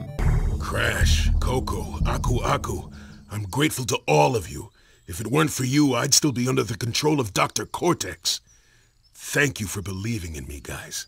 Which I think is very sweet, but it does make me kind of wish that there was an element of that in the ending after you get everything where there was maybe one more round to the fight or something and that you had to choose to spare Crunch Or there could have been a cutscene where we see Crash has the means of getting rid of Crunch for good, but chooses to save him instead. That would make this line make even more sense and be even more sweet. I think something like that would have put a nice bow on this, even if it all comes together at the very end of the game. Since Crunch and that dynamic between him and Crash narratively, I believe is the game's strongest point. And I think showcasing Crash taking mercy on Crunch, even if that is technically what happened, actually showcasing it more than just Crunch saying it here, I feel like would have been an extra strong character moment for all characters involved. Crunch would later go on to be a reoccurring character in the series, and I actually really like Crunch. There isn't much to him here, mind you, but since Crash and Coco sort of have this bit of a Sonic and Tails type dynamic, Crunch being the Knuckles of the group, I think really adds to it. Plus, I just think it's a sweet idea that Crash and Co. help out these mutants that are abused and used by Cortex, and welcome them into their home. But anyway, Coco asks Aku Aku if he thinks that this is the last time they'll see Cortex and Uka Uka, and he believes that it won't be, which then cuts over to a scene of Cortex and Uka Uka stranded out in the middle of nowhere in the Antarctic wastes. Uka Uka torching Cortex's ass as he swears revenge on Crash Bandicoot, ending out the game. Idiot! Fool! Nincompoop! You've landed us in the middle of nowhere! Ouch! Whoa! No, wait! I can explain! Ah! I'll get my revenge, Crash Bandicoot! Just you wait!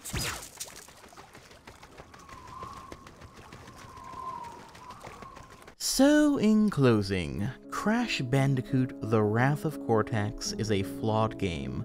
More than that, it's a downgrade in nearly all fronts from the PS1 trilogy that it was looking to be a successor to. There are many reasons for this. The first is that the game was rushed going from an ambitious new type of Crash Bandicoot game to a game that tries its best to imitate Crash Warped. The second being that in the pursuit of that goal, the game either fails to meet the highs of Crash Warped, or in some cases take the wrong lessons from what made that game so good to begin with. There were many vehicle levels in Crash Warped, so the Wrath of Cortex adds even more, with several that only show up once. Crash Warped had time trials, so we gotta include those, but nearly none of the levels are built around speedrunning them, some levels even being a slog on a casual run, let alone a speed run through them. Crash Warped had cutscenes where you see the boss characters talk to Crash, so this game should have it too. But there are no fun interactions or unique personalities, it's just element-based puns. Crash Warped had you gain new moves after every boss, so we should have that too in this game. But no one could come up with a new one, except for the Sneaky Shoes, which adds literally nothing to the core gameplay of Crash. Are you seeing a bit of a pattern here? The truth of it is, is Crash the Wrath of Cortex isn't even a terrible game. It does have some nice qualities, and is a casually fun experience from time to time. And if I looked on it on its own, in its own small little bubble, I think the game is alright, but pretty mid overall. But when compared to what came before it, it suddenly looks a lot worse. Especially since this was also the first Crash game to come out on next-gen consoles. The first Crash game to go multi-platform. The first real Crash game to be developed by a new studio. This game had a lot to prove, and on nearly every mark possible, the game comes up short. And hell, it doesn't just come up short when compared to the PS1 originals, it also comes short as far as the 3D platformer space of 2001, when this game was first released next to names like Jak and Daxter, a new franchise made by the original Crash devs, with no loading screens, an amazing moveset that's extremely fun to play with, and a new world full of lore and characters to discover and explore on the brand new PlayStation 2, or Sonic Adventure 2 on the Dreamcast and later on the GameCube, with its more serious story, super tight controls, and masterfully crafted levels and design, the swan song of the Dreamcast. Not to mention the countless other games that would come to define the 3D platformer space within the next year, like those of Ratchet and Clank or Sly Cooper and the Thievius Raccoonus. When you look at the whole big picture like that, the more this game not only doing nothing new besides more vehicle stages and some more special graphical effects, I suppose, but also failing to even match the quality of what came before, let alone matching the quality of its current peers, it all starts to look a lot more grim for this game and franchise moving forward. Luckily though, the game did sell really well. It was Crash Bandicoot after all, people still love this franchise.